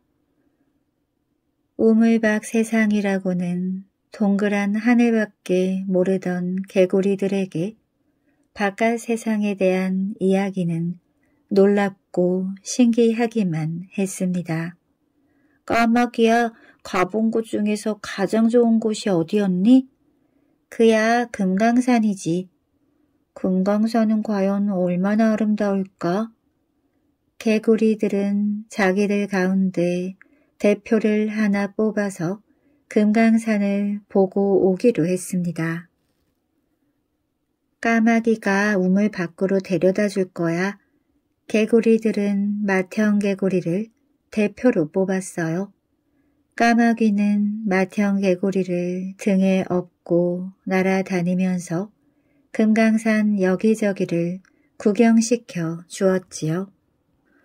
우와, 세상이 이렇게 넓고 크더니 마태형 개구리는 탄성을 내질렀습니다. 한참 뒤 까마귀는 마태형 개구리를 구룡련 골짜기 어귀에 내려놓았답니다. 저 위로 올라가면 옥녀봉이라는 봉우리가 나와 그곳에서 아래를 내려다보면 금강산의 절경이 한눈에 들어오지. 옳거니 내가 그 경치를 보고 나서 동생들에게 이야기해 줘야지. 마태형 개구리가 옥녀봉 중턱에 올라섰을 때는 이미 해가 산 저편으로 넘어가고 있었어요. 맏형 개구리는 입을 쩍 벌린 채 멈추어 섰습니다. 깎아지른 절벽 바위를 끌어안고 싱싱하게 자란 소나무, 저 멀리 보이는 구룡령과 구룡폭포, 그에 어우러진 주홍빛 하늘, 맏형 개구리는 그만 넋을 잃고 말았지요. 동생 개구리들이 기다리는 우물로 돌아가야 한다는 사실도 까맣게 잊었습니다. 그렇게 하루가 지나고 한 달이 지났지만 맏형 개구리는 그 자리에서 꼼짝도 하지 않았답니다. 그러다가 마침내 두 눈을 동그랗게 치켰던 개구리 모양의 바위로 변하고 말았대요. 이 바위가 바로 금강산의 명물 개구리 바위랍니다. 오늘의 동화 선문대 할망 옛날 제주도에 선문대 할망이라는 엄청나게 큰 거인이 살았습니다. 얼마나 컸느냐면 선문대 할망이 자리에서 일어서면 깊은 바닷물도 발목까지밖에 차오르지 않았고 한 번 자리에 앉을 때마다 쿵쿵 땅이 울릴 정도였어요. 그뿐만이 아닙니다. 선문대 할망이 높은 산을 베개 삼고 누워서 드르렁 드르렁 코를 골면 하늘이 무너져 내릴 것처럼 흔들렸답니다. 하루는 선문대 할망이 빨래를 하려고 하는데 의자 삼아 깔고 앉을 만한 게 없는 겁니다. 그래서 깔고 앉을 산을 하나 만들기로 했지요. 선문대 할망은 육지의 흙을 쓱쓱 끌어다가 치마폭에 담았습니다. 그 흙을 날라다가 제주도 한 가운데에 쌓았지요. 선문대 할망이 산을 다 만들고 보니 산봉우리가 너무 뾰족해서 안기가 불편한 겁니다. 그래서 산봉우리에 흙을 퍼내어 움푹하게 만들었지요. 이때 만들어진 산이 바로 한라산입니다. 선문대 할망은 한라산을 의자 삼아 쪼그리고 앉아 빨래를 했습니다. 그런데 흙이 묻은 치마를 빠는 일은 무척 어려웠어요. 그래서 할망은 제주도에 사는 사람들에게 새 치마 한 벌을 만들어 달라고 부탁하기로 했습니다. 내 치마를 만들어주면 무까지 이어지는 다리를 놓아주지. 제주도 사람들은 치마를 만들기 위해 명주를 모았습니다. 할망의 치마를 만들려면 명주 백필이 드는데 명주란 명주는 다 끌어 모아도 99필밖에 되지 않는 거예요. 선문대 할망은 사람들이 옷을 완성하지 못했다는 것을 알고 다리를 조금 놓다가 돌아가 버리고 말았답니다.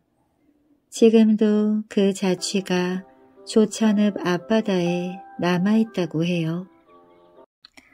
오늘의 동화 나무를 베던 일을 멈춘 벌목꾼 폴 버니어는 미국인이 가장 사랑하는 거인 영웅 중 한 사람입니다.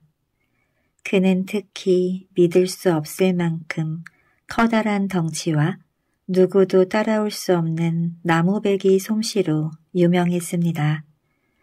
폴은 토니 비버와 사촌이라고 전해지지만 사실은 같은 인물이라고 말하는 사람들도 있습니다.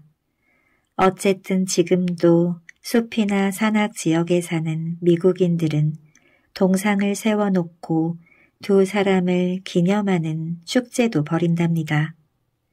미국인들은 저마다 폴 버니언이 자기네 고장에서 태어났다고 우기곤 하는데 사실 폴의 고향이 어디인지는 분명하지 않습니다. 어떤 사람은 메인주라고 하고 어떤 사람은 미네소타 주라고도 합니다. 워낙 몸집이 컸기 때문에 두 개의 주에 걸쳐서 태어났을 거라고 말하는 사람들도 있습니다. 폴은 세상에 태어날 때부터 보통 아기들과는 비교도 안 될 정도로 컸습니다. 그래서 커다란 아기를 엄마 아빠에게 데려다 주기 위해 큰 황새 다섯 마리가 용을 써야 했습니다. 폴이 사용한 첫 번째 침대는 한때의 말이 끄는 커다란 통나무 마차였습니다. 아기를 재우기 위해 엄마와 아빠는 이 커다란 마차를 힘겹게 흔들어야 했지요. 갓난아이 폴이 우는 소리는 또 어찌나 우렁찼던지 강물과 개울물에서 헤엄치던 온갖 물고기들이 깜짝 놀라 물 밖으로 튀어나올 정도였습니다. 배고파서 우는 폴의 울음소리에 개구리들은 귀가 먹을까 겁이 나 모두 귀마개를 했고요. 폴의 부모님은 아침 저녁으로 폴이 마실 우유를 대기 위해 젖소 스물네 마리에서 젖을 짜내야 했습니다. 그리고 두 시간마다 죽을 쑤어 수레만한 통에 가득 채워 폴에게 먹였습니다. 그렇지 않으면 폴의 뱃속에서 꾸르륵 꾸르륵 소리가 쩌렁쩌렁 울리는 통에 언제 집이 무너질지 몰랐거든요. 태어난 지 일주일 만에 폴은 아빠 옷을 입을 만큼 자랐습니다. 3주째가 되자 마침내 문제가 생기기 시작했습니다.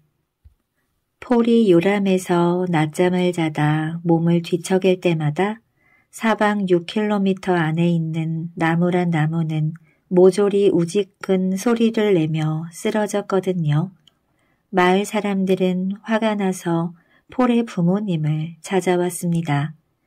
당신네 아이 때문에 우리 집이 다 무너졌어요. 폴이 딴 데 가서 놀게 하세요. 폴의 부모님은 곰곰이 생각한 끝에 커다란 통나무 뗏목을 만들었습니다. 그리고 거기에 폴을 태워 바닷물에 띄웠습니다. 넓은 바다에서라면 폴이 마음 놓고 놀 수 있으리라 생각했거든요. 부모님의 생각대로 폴은 푸른 하늘과 따사로운 햇살, 갖가지 모양의 구름을 보며 날마다 즐거운 시간을 보냈습니다.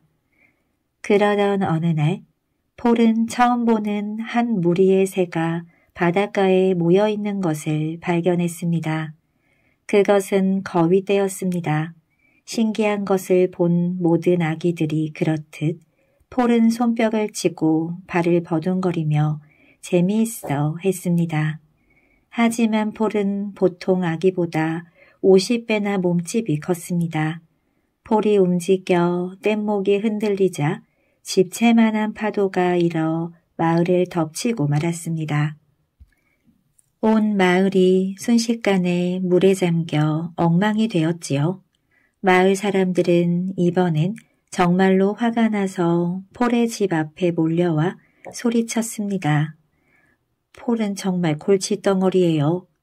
이러다 매일 물난리가 나겠네. 제발 아이를 멀리 보내버려요. 폴의 부모님은 하나뿐인 자식을 너무나 사랑했지만 마을 사람들에게 무척 미안했습니다. 그래서 곧장 짐을 싸서 폴을 데리고 멀리 떠났습니다. 하지만 마음속으로는 튼튼한 아들을 둔 것이 한없이 자랑스러웠습니다. 폴의 가족이 어디로 떠났는지 정확히 아는 사람은 아무도 없었습니다. 어떤 사람은 깊은 숲속으로 들어갔다고 하고 또 어떤 이는 폴의 가족이 높은 산 꼭대기에 자리를 잡는 바람에 폴이 걸음마를 떼기 시작하자 산사태가 몇 번이나 일어났다고도 했습니다. 여러 가지 소문이 무성했지만 어른이 될 때까지 폴을 직접 본 사람은 아무도 없었습니다. 마을을 떠난 폴은 하루가 다르게 무럭무럭 자랐습니다. 어른이 되자 키가 1500m가 넘고 발 크기만 해도 트럭만큼 컸습니다. 두 눈은 커다란 접시만 하고 우뚝한 코는 양이 다리만큼이나 길었지요. 검은 수염은 하도 길고 무성해서 수십 년 된 소나무 가지들을 엮어서 빗어야 할 정도였습니다. 거기다 폴의 바지와 셔츠를 만들려면 1년간 수확한 목화를 몽땅 써야 했습니다. 멜빵은 너비가 1미터나 되었고 장화는 메인, 펜실베니아와 오하이오 세 개의 주에서 가죽이란 가죽은 몽땅 모아야 겨우 만들 수 있었습니다. 폴 버니어는 야생의 숲속에서 성장했습니다. 어려서부터 폴은 미국 땅을 뒤덮고 있는 거대한 숲에 관심이 많았습니다. 그때만 해도 맑고 깨끗한 숲이 끝없이 펼쳐져 있었습니다. 엄청나게 큰 나무들이 빽빽하게 자라 하늘이 겨우 보일 정도였지요. 미국은 새로운 땅이었고 사람들은 아직 나무를 베어 집이나 교회, 상점 따위를 짓지 않았습니다. 어느 날 아침 폴은 숲속을 산책하며 소나무 가지로 덥수룩한 수염을 빚고 있었습니다. 그러다 갑자기 이런 생각이 들었습니다. 아, 왜 진작 나무 베는 사람이 될 생각을 하지 못했을까? 폴은 동물들에게 이야기했습니다.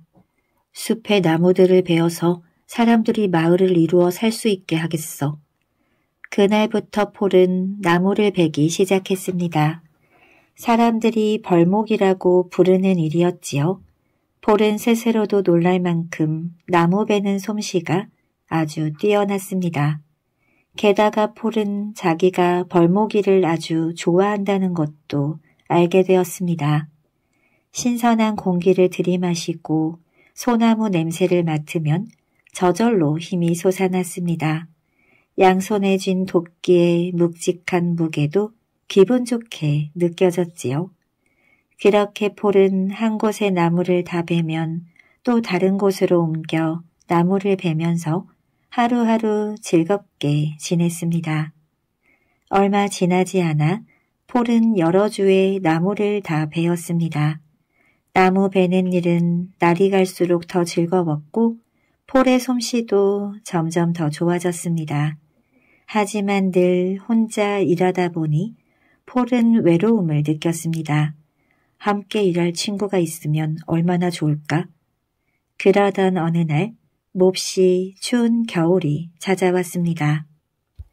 어찌나 추웠던지 거위들이 거꾸로 날고 물고기는 몽땅 남쪽으로 내려가 버렸습니다. 심지어 눈까지 새파란 색이 되어버렸습니다. 한밤중이 되면 사람들의 말소리가 입 밖으로 나오자마자 얼어붙어 다른 사람의 귀에 전해지지 않을 정도였습니다. 그래서 전날 밤 누군가가 한 말을 들으려면 해가 뜰 때까지 기다려야 했지요. 그 시절만 해도 이렇게 희한한 일들이 많이 일어났답니다. 이 무시무시한 파란 눈이 내리는 겨울 어느 아침 폴은 나무들을 쓰러뜨리지 않게 조심하면서 숲속을 거닐고 있었습니다. 밤새 내린 파란 눈에 무릎까지 푹푹 빠졌습니다. 폴은 하늘에서 내리는 파란 눈송이를 바라보며 탄성을 질렀습니다. 아, 정말 아름다워. 그런데 바로 그 순간 어디선가 아주 희미한 소리가 들려왔습니다. 마치 양이 오는 소리 같기도 하고 말이 콧바람을 내는 소리 같기도 했습니다. 폴은 놀라서 주위를 둘러보았습니다. 그러자 폴의 발 바로 옆에 작고 파란 산 같은 것이 보였습니다.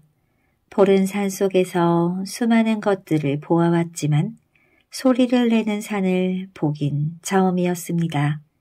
게다가 파란색 산이라니요.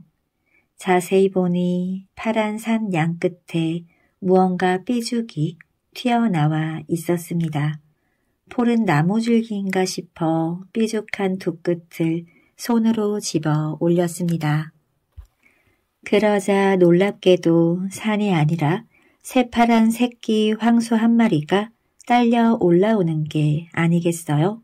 새끼 황소는 깜짝 놀라 버둥거리며 낑낑댔습니다. 폴은 작고 파란 새끼 황소가 끙끙거리는 모양이 신기하기도 하고 귀엽기도 했습니다. 새끼 황소는 마치 눈처럼 온통 새파란 색이었습니다. 가엽게도 온몸이 꽁꽁 얼어 있었거든요.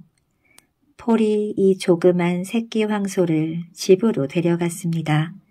그리고 눈에 젖어 얼어붙은 몸을 밤새 난로가에서 녹여주었어요. 하지만 온몸이 따뜻해진 후에도 새끼 황소의 몸은 여전히 파란색이었습니다. 폴은 새끼 황소를 물끄러미 바라보며 이렇게 말했습니다. 좋아, 이제부터 너를 파란 황소 베이브라고 부르겠어. 나에게도 드디어 함께 일할 친구가 생겼군. 새끼 황소도 그 이름이 마음에 들었는지 폴에게 다가와 귀여운 혀로 목을 핥아주었습니다. 베이브는 착한 주인이 마음에 들었습니다. 이제 폴도 외롭지 않았습니다. 폴의 집에서 기르는 것은 무엇이건 아주 커다랗게 자랐습니다. 베이브도 예외가 아니었지요. 5분만 가만히 지켜보고 있어도 그 자리에서 쑥쑥 크는 걸 느낄 수 있을 정도였습니다.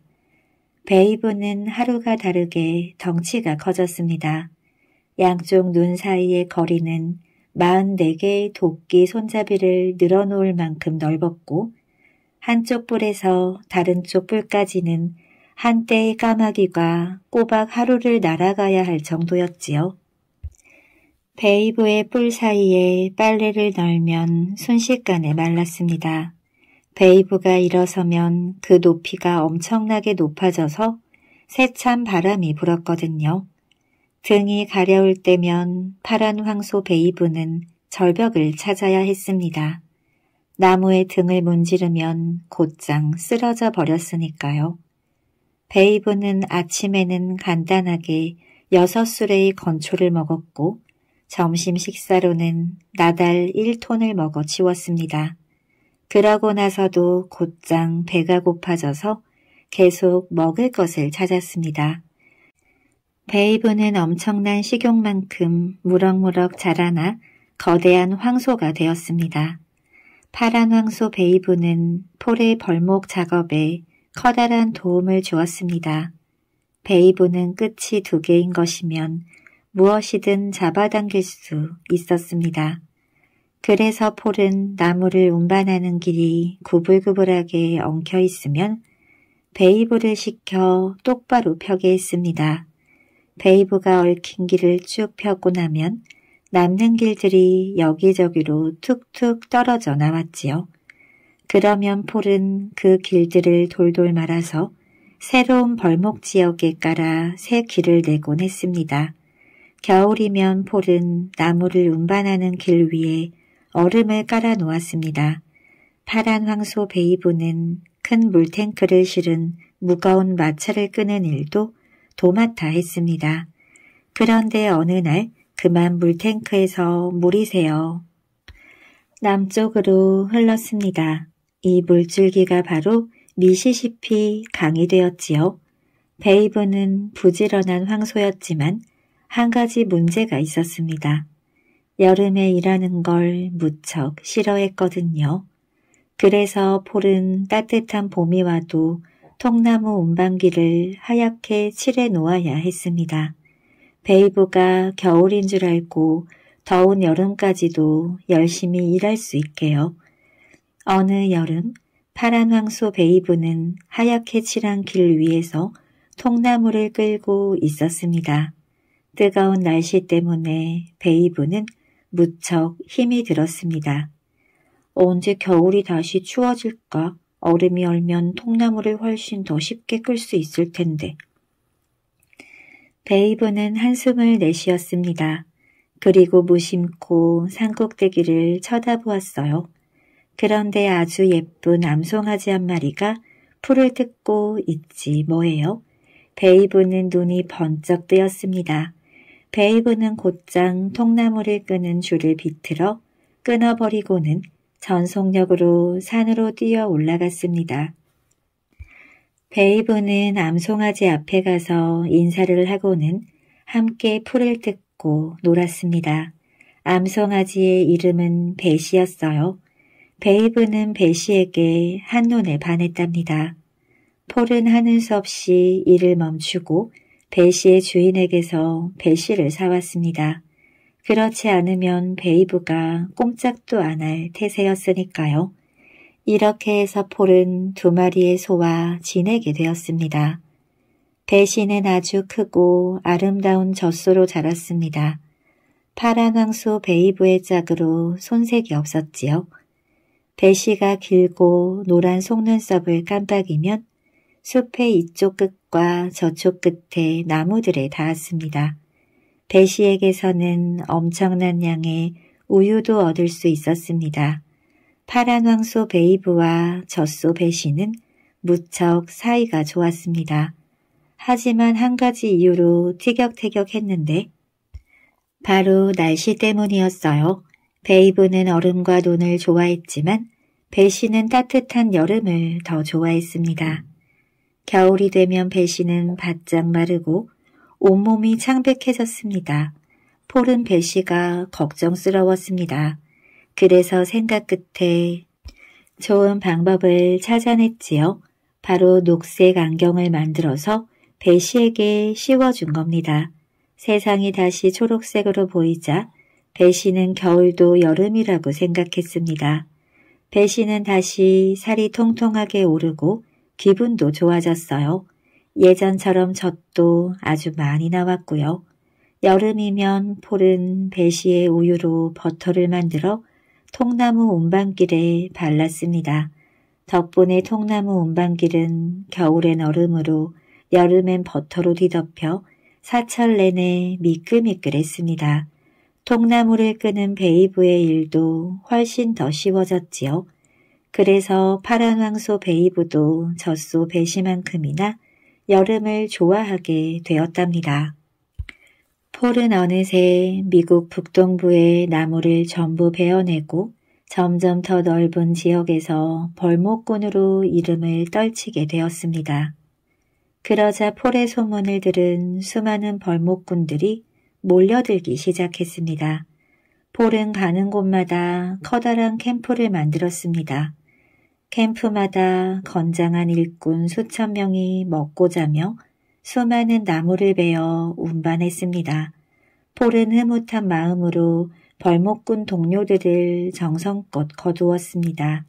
그러던 어느 날 위스콘신 강에서 통나무를 운반하던 일꾼들이 곤란에 처했다는 소식이 들려왔습니다. 사람들은 폴에게 도움을 청했습니다. 폴이 베이브를 데리고 강가에 도착하니 어마어마하게 많은 통나무들이 강 위에 마구 엉켜 있었어요. 통나무들은 자그마치 600m가 넘는 높이로 쌓여 온통 뒤엉켜 있었고 강을 1km도 넘게 뒤덮고 있었습니다. 아무도 이렇게 엉망으로 뒤엉킨 통나무 더미는 본 적이 없었어요. 벌목꾼들은 젖먹던 힘까지 다해 통나무를 끌어내려고 애썼지만 통나무는 단 한 뼘도 움직이지 않았습니다. 이 광경을 본 폴은 잠시 생각하더니 일꾼들을 뒤로 물러서게 했습니다. 그리고 베이브더러 통나무 더미 바로 앞쪽으로 들어가라고 했어요. 그런 다음 베이브 뒤로 가서 기다란 총에 후춧가루를 채워 엉덩이에 쏘기 시작했습니다. 베이브는 엉덩이가 가려워 신경질이 났습니다. 폴이 후춧가루를 쏘는 줄도 모르고요. 베이브는 아주 성가신 파리떼가 꼬여 귀찮게 하는 거라고 생각했습니다. 그래서 힘껏 꼬리를 흔들어대기 시작했지요. 폴이 후춧가루를 쏘면 쏠수록 베이브는 더 힘차게 꼬리를 흔들었습니다. 그 힘이 얼마나 세었던지 강물이 이리저리 요동치기 시작했습니다. 소용돌이 같은 물결이 일어 물이 솟구치고 강 위아래로 퍼져나갔습니다. 강물이 움직일 때마다 통나무들도 함께 휩쓸려 튀어 올랐습니다. 얽혀있던 통나무 더미가 서서히 흩어지더니 마침내 통나무들이 다 떨어졌습니다. 폴은 베이브를 강에서 꺼냈습니다. 그러자 통나무들은 얌전해진 강줄기를 따라 다시 가던 길로 떠내려가기 시작했습니다. 일꾼들은 환호하며 폴과 베이브에게 고마워했습니다. 하지만 베이브는 여전히 영문을 몰라 어리둥절했답니다. 폴과 벌목꾼 동료들은 휘파람 강에서도 나무를 운반했습니다. 이 강에 이런 이름이 붙은 이유는 하루에 두 번씩 휘파람 소리를 냈기 때문입니다. 휘파람 강은 정확히 아침 5시 9분과 저녁 6시 10분에 6미터가 넘는 높이의 물기둥을 일으키면서 귀가 먹을 정도로 커다란 휘파람 소리를 냈습니다. 그 소리는 정말 어마어마했습니다. 동서남북으로 수백 킬로미터 떨어진 곳에 있는 사람들까지 모두 들을 수 있을 정도였으니까요. 심지어 저 멀리 알래스카에 있는 사람들도 휘파람 강이 내는 소리를 듣고 아침에 일어날 시간과 저녁에 일을 마칠 시간을 알 수 있었습니다. 그런데 휘파람 강은 하루에 두 번 소리를 내는 것 말고 다른 이유로도 유명했습니다. 바로 세상에서 제일 심술궂은 강이라는 것이었지요. 휘파람 강은 성미가 아주 고약해서 강에서 일하는 벌목꾼들을 회방 놓으며 신이 나서 낄낄거리곤 했습니다. 휘파람 강은 통나무들을 맘대로 얽어놓고 뗏목을 부수고 일꾼들을 강가로 내동댕이 쳤습니다. 어느 날 폴은 소나무로 수염을 빗으며 휘파람 강 옆에 낮은 언덕에 앉아 있었습니다. 머릿속으로 겨울 벌목 계획을 세우느라 조용히 집중하고 있던 참이었지요. 그런데 느닷없이 강물이 높이 솟구쳐 오르더니 자그마치 15톤의 진흙탕 물을 폴의 수염에 뿜어대는 게 아니겠어요? 폴은 깜짝 놀랐습니다. 하지만 그냥 가만히 내버려두면 휘파람 강도 물러가겠거니 생각했습니다. 폴은 다시 앉아 수염을 빗기 시작했습니다. 그런데 폴이 자리에 앉기 무섭게 이 심통맞은 강이 다시 솟구쳐 오르더니 진흙탕물 20톤을 폴의 수염에 뱉어버리는 거예요. 이번엔 한 무리의 진흙 거북과 잉어 13마리 그리고 물에 빠져 죽은 사양쥐까지 몇 마리 섞여 있었습니다. 이쯤 되자 폴도 머리끝까지 화가 났습니다. 폴은 벌떡 일어나 고함을 질렀습니다. 그 소리에 온 땅이 흔들리고 산사태가 일어났습니다. 폴은 큰 소리로 다짐했습니다. 기필코 저 못된 강을 길들이고 말겠어. 버르장머리를 단단히 고쳐주마. 폴은 어떻게 하면 휘파람 강을 길들일 수 있을까 골똘히 생각했습니다. 겨울 벌목 계획은 이미 깡그리 잊어버린 채였지요. 조금 지나자 폴은 배가 고팠습니다. 그래서 캠프의 요리사에게 팝콘을 가져오게 했습니다. 폴은 나흘 밤낮을 팝콘을 먹으며 생각에 잠겼습니다. 생각하는 속도가 빨라질수록 팝콘을 먹는 속도도 빨라졌고 팝콘을 빨리 먹을수록 생각도 빨라졌습니다. 마침내 팝콘을 입에 넣는 폴의 손이 너무 빨리 움직여 공기가 온통 희뿌옇게 흐려졌습니다. 양손이 정신없이 움직일 때마다 바람이 일어 폴 주위의 나무들은 뿌리채 뽑혀버렸습니다. 얼마나 많은 팝콘을 먹었던지 사방 5km의 땅이 온통 팝콘 조각으로 뒤덮였습니다. 깊이도 50cm나 되었습니다. 수천 마리의 새와 동물들은 눈보라가 치는 줄 알고 곧 얼어 죽을지도 모른다고 생각했습니다. 캠프의 사람들은 쌓여있는 팝콘 조각으로 며칠 동안 파이를 해먹었습니다. 팝콘이 다 떨어질 때쯤 폴은 휘파람 강을 길들이는 유일한 방법은 파란 황소 베이브의 뿔에 연결해 강을 쫙 펴는 것뿐이라는 결론을 내렸습니다. 그렇게 하면 작은 강줄기들도 다 없애버릴 수 있으니까요. 그렇지만 한 가지 문제가 있었습니다. 통나무를 묶는 사슬로는 도저히 거센 물살을 버틸 수가 없었거든요. 폴은 캠프의 대장 장인인 올레와 머리를 맞대고 하루 종일 생각해 보았지만 뾰족한 수를 찾을 수 없었습니다. 마침내 폴은 무슨 생각에선지 베이브를 데리고 북쪽을 향해 떠났습니다. 둘은 한 걸음에 스물네 개의 마을을 건너뛰며 손살같이 여행했습니다. 폴과 베이브가 지나간 자리에는 뿌옇게 먼지가 일어 세 달 동안이나 가라앉질 않았습니다. 점심때가 되자 폴과 베이브는 북극에 도착했습니다. 폴은 눈보라의 흔적이 길게 나타난 곳에 자리를 잡았습니다.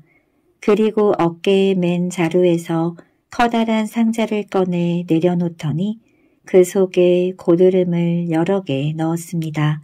눈보라를 잡기 위해 덫을 놓은 것이었지요. 그러고 나서 폴은 베이브를 데리고 조금 떨어진 곳으로 갔습니다. 폴은 바닷속으로 거대한 얼음 조각들을 집어던졌고 베이브는 물속으로 뛰어들어 빙산만한 얼음들을 건져왔습니다.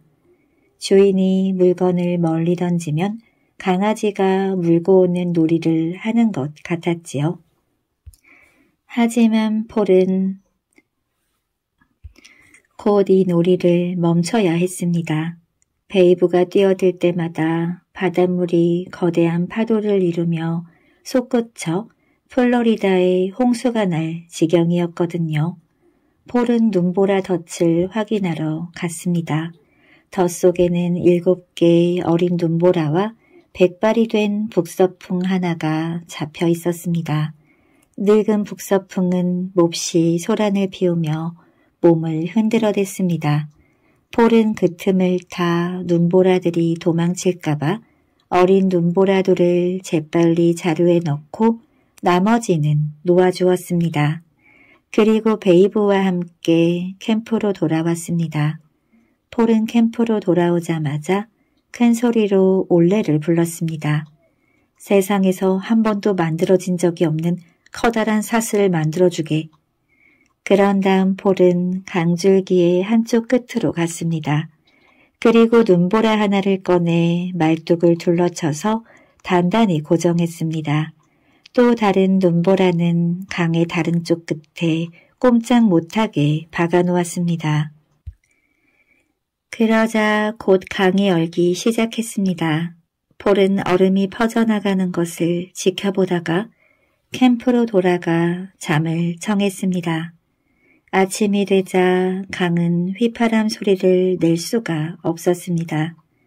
강물이 30km나 꽁꽁 얼어붙어서 도저히 높은 물살을 일으킬 수 없었거든요. 밤새 눈보라가 이를 아주 멋지게 해낸 덕분이었습니다. 폴은 아침을 먹고 나서 베이브를 준비시켰습니다. 그리고 딱딱하게 얼어버린 휘파람 강의 발치에 사슬을 일흔 두번 단단하게 둘렀습니다. 폴은 사람들에게 멀리 떨어져 있으라고 소리친 후 베이브에게 당기라고 명령했습니다. 베이브는 있는 힘을 다해 사슬을 끌어당겼습니다.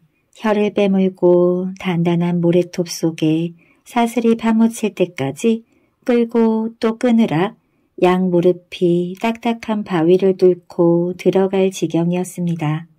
하지만 휘파람강은 구불구불한 작은 강줄기들에 매달려 고집을 피우며 버텼습니다. 그 모습은 마치 땅다람쥐 굴 속의 뱀 같았습니다.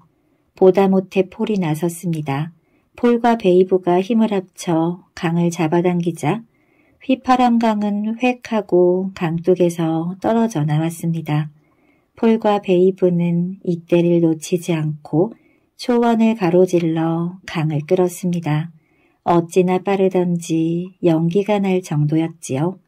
잠시 후 폴은 강을 뒤돌아보았습니다. 휘파람 강은 이제 긴 총처럼 쭉 뻗어 매끈해진 모습이었습니다. 하지만 강의 길이는 예전보다 훨씬 짧아졌습니다. 구불구불하던 강줄기가 쭉 뻗게 되었으니까요. 여기저기 엉키고 튀어나와 있던 작은 강줄기들은 이제 초원 위로 마구 흐르고 있었습니다. 폴은 물줄기가 농부들의 집과 가축을 쓸어갈까봐 걱정이 되었습니다. 폴은 거대한 톱과 짐짝을 묶는 줄을 잔뜩 가져왔습니다. 그리고 마치 나무를 켜듯 물줄기들을 1500m씩 잘라 돌돌 말아서 줄로 단단히 묶었습니다. 나중에 폴은 사막에서 나무를 운반할 때 이 물줄기들을 사용했습니다. 그런데 문제는 여기서 끝나지 않았습니다. 휘파람 강이 절막에 빠져 힘을 잃어버렸기 때문입니다. 휘파람 강은 이제 휘파람 소리를 내지 않았습니다. 그러자 사람들은 폴에게 화를 내기 시작했어요. 도대체 언제 일어나야 할지 알 수가 없었거든요. 때마침 꾀꾀기 스완슨이 나타나지 않았다면 폴은 아마 커다란 공경에 빠졌을 겁니다. 꾀꾀기 스완스는 평소엔 목소리가 아주 작았습니다. 그런데 한번 소리를 질렀다 하면 미국 땅 동쪽에서 중부의 캔자스주까지 또렷하게 들릴 정도로 컸습니다. 꾀꾀기 스완스는 아침마다 찢어질 듯 날카롭게 소리를 질러 캠프의 모든 이불을 날려버렸습니다. 이불이 없어져 추워진 사람들은 일어날 수밖에 없었지요. 스완슨의 임무는 대성공이었습니다. 그 후 꾀꾀기 스완슨은 매일 새벽에 일어나 크게 소리를 지르는 일만 했답니다. 풀과 베이브 그리고 벌목꾼들은 계절이 수십 번 바뀌도록 쉬지 않고 일했습니다.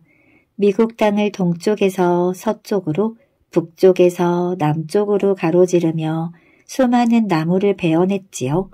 어떤 사람들은 폴이 북극 지방의 나무들까지 말끔하게 베어냈다고 말합니다. 폴이 땀을 흘려 벌목한 나무를 가지고 사람들은 집과 교회와 학교를 지을 수 있었습니다. 아무도 살지 않던 밀림과 황무지에 길이 나고 커다란 마을과 도시들이 생겼지요. 어느새 폴의 검고 무성한 수염도 휘어지고 베이브의 새파란 털 빛깔도 점점 옅어졌습니다. 할아버지가 된 폴은 자기가 베어낸 커다란 나무들이 그리워졌습니다. 폴은 생각했습니다. 나무들이 다시 자랄 수 있도록 그냥 두어야겠어. 맑게 갠 어느 가을날 베이브와 함께 푸른 하늘을 바라보던 폴이 말했습니다. 베이브, 이젠 우리도 다른 일을 찾아볼 때가 된 것 같구나. 너는 아주 훌륭한 일꾼이었어. 베이브는 커다랗고 순한 두 눈으로 폴을 쳐다보았습니다. 그리고 폴의 말에 답하기라도 하듯이 다가와 코를 비볐습니다. 폴은 몇 가지 짐만 챙겨 어디론가 사라졌습니다. 물론 베이브도 함께였지요. 폴과 베이브가 어디로 떠났는지 아는 사람은 아무도 없었습니다. 하지만 지금도 무성한 나뭇잎이 바람에 날리거나 수백 년 된 고목이 쓰러지는 소리가 멀리서 들려오면 사람들은 이렇게 말하곤 합니다. 폴 버니언이 베이브를 데리고 깊은 숲속을 지나가고 있어 라고 말입니다. 오늘의 동화 하늘나라 이야기 옛날 옛적 호랑이가 담배 피우고 까맣같이 말할 적에 가재가 도랑치고 개미가 마당 쓸 적에 어느 산골에 가난한 총각이 눈먼 어머니를 모시고 살았어요. 하루는 장에 갔더니 벼슬아치가 돌아다니며 큰 소리로 외기를 우리 임금님이 눈병이 나서 눈이 멀게 되었다. 눈먼 데는 하늘 복숭아가 약이니 누구든지 하늘 복숭아를 따오면 큰 상을 내리겠다. 이러는 겁니다.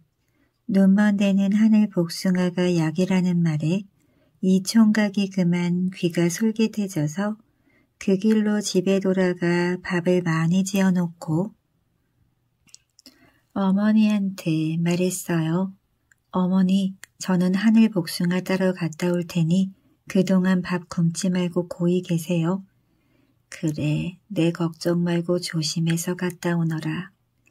총각은 집을 나서 정처도 없이 자꾸 갔습니다. 가는 길을 모르니 그저 하늘을 보고 그쪽으로 자꾸 갔지요. 산 위에 하늘이 보이면 산으로 올라가고 강 건너에 하늘이 보이면 강을 건너서 갔습니다. 몇 날 며칠 가다 보니 구름이 산꼭대기에 걸린 산이 나오기에 그 산으로 올라갔어요. 그 산은 숲풀산인데 우거진 소나무가 빽빽하게 들어차서 대낮에도 밤중처럼 어두컴컴했지요. 쌀이대로 초롱을 만들고 송진으로 불을 밝혀 앞을 보며 올라갔지요. 이래 만에 꼭대기에 올라보니 한 칸 초가집에 푸른 옷 입은 사내 아이가 있었습니다. 얘야, 하늘 복숭아는 어디에 있니? 이 산 너머 또 산이 있으니 그리로 가서 물어보세요. 그 산을 넘어 몇 날 며칠 가다 보니 구름이 산허리에 걸린 산이 나오기에 그 산으로 올라갔어요. 그 산은 가시덤불 산인데 따가운 가시덤불이 빈틈없이 온 산을 메워서 뚫고 나갈 길이 없었지요. 나무 껍질로 갑옷을 만들어 입고 돌칼로 가시덤불을 쳐내어 길을 만들며 올라갔지요. 두 일에 열 나흘 만에 꼭대기에 올라보니 두칸 초가집에 누른 옷 입은 처녀가 있었어요. 아가씨, 하늘 복숭아는 어디에 있나요? 이 산 너머 또 산이 있으니 그리로 가서 물어보세요. 그 산을 넘어 몇 날 며칠 가다 보니 구름이 상기슬게 걸린 산이 나오기에 그 산으로 올라갔어요.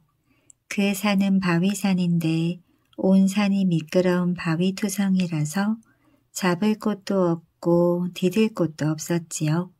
쇠돌을 삼천 번 담금질하여 튼튼한 도끼를 만들어서 바위에 자국을 내어 디디고 올라갔습니다. 세일의 스무 하루 만에 꼭대기에 올라보니 색한 초가집에 붉은 옷 입은 할아버지가 있었어요. 할아버지, 하늘 복숭아는 어디에 있나요? 어둠길 백리, 가시밭길 천리, 미끄럼길 많니 나는 새도 못 올라온다는 이곳에 사람이 오기는 처음일세. 저 동굴로 들어가 아흔아홉 걸음을 걷되 주춤대지도 않고 뒷걸음질도 안 한다면 하늘 복숭아를 볼게야. 초가집 뒤에 동굴이 있기에 그 안으로 들어갔지요. 동굴 안은 캄캄하여 한치 앞이 안 보였습니다. 눈을 딱 감고 아흔아홉 걸음을 걸었지요.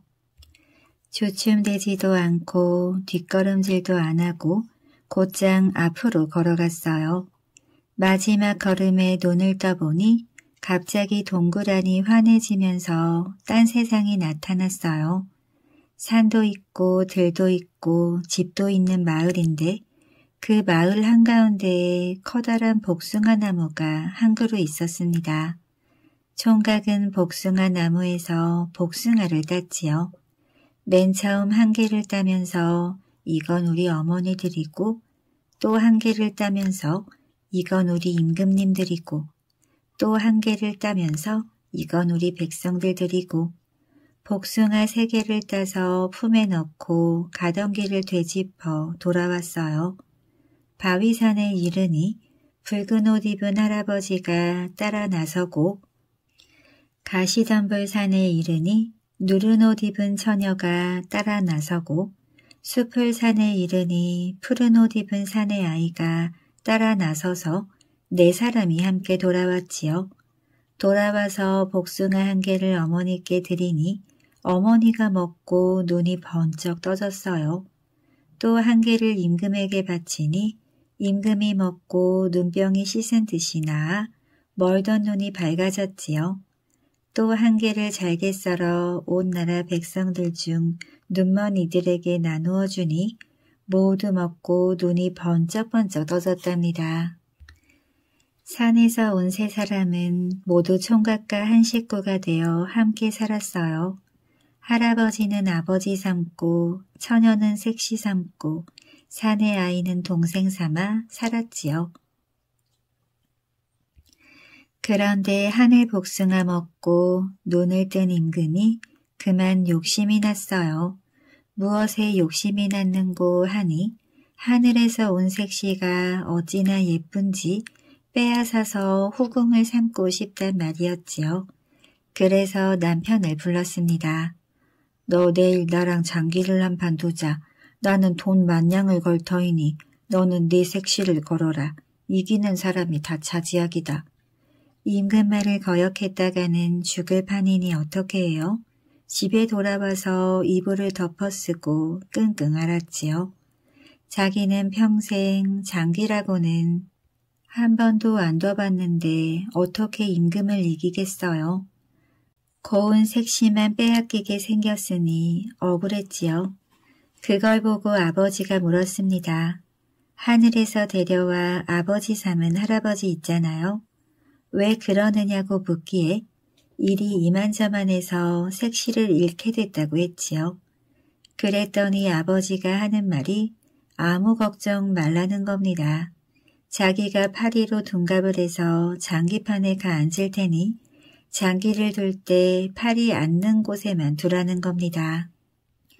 이튿날 임금하고 장기를 두는데 아닌 게 아니라 어디서 파리가 한 마리 날아와서 자기 둘 차례만 되면 장기판 위에 폴짝폴짝 날아가 앉았어요. 그 팔이 앉는 곳만 따라다니며 두었더니 보기 좋게 이겼습니다. 임금은 괜히 내기를 하자 했다가 돈 만냥만 날린 꼴이 되었지요. 그런데 임금이 그냥 안 물러났어요. 너 나랑 내기 한 가지 더 하자.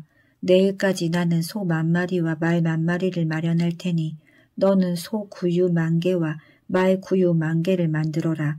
이번에도 돈 만냥과 내 색시를 걸고 이기는 사람이 다 차지하기로 하자.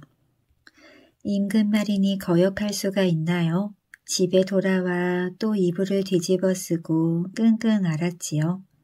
저쪽은 임금이니까 마소를 만 마리든 십만 마리든 식은 죽 먹기로 마련할 테지만 자기는 무슨 수로 하룻밤새 구유를 만 개씩이나 만들겠어요. 도무지 될 일이 아니었지요. 그걸 보고 동생이 물었습니다. 하늘에서 데려와 동생 삼은 산의 아이가 말이에요.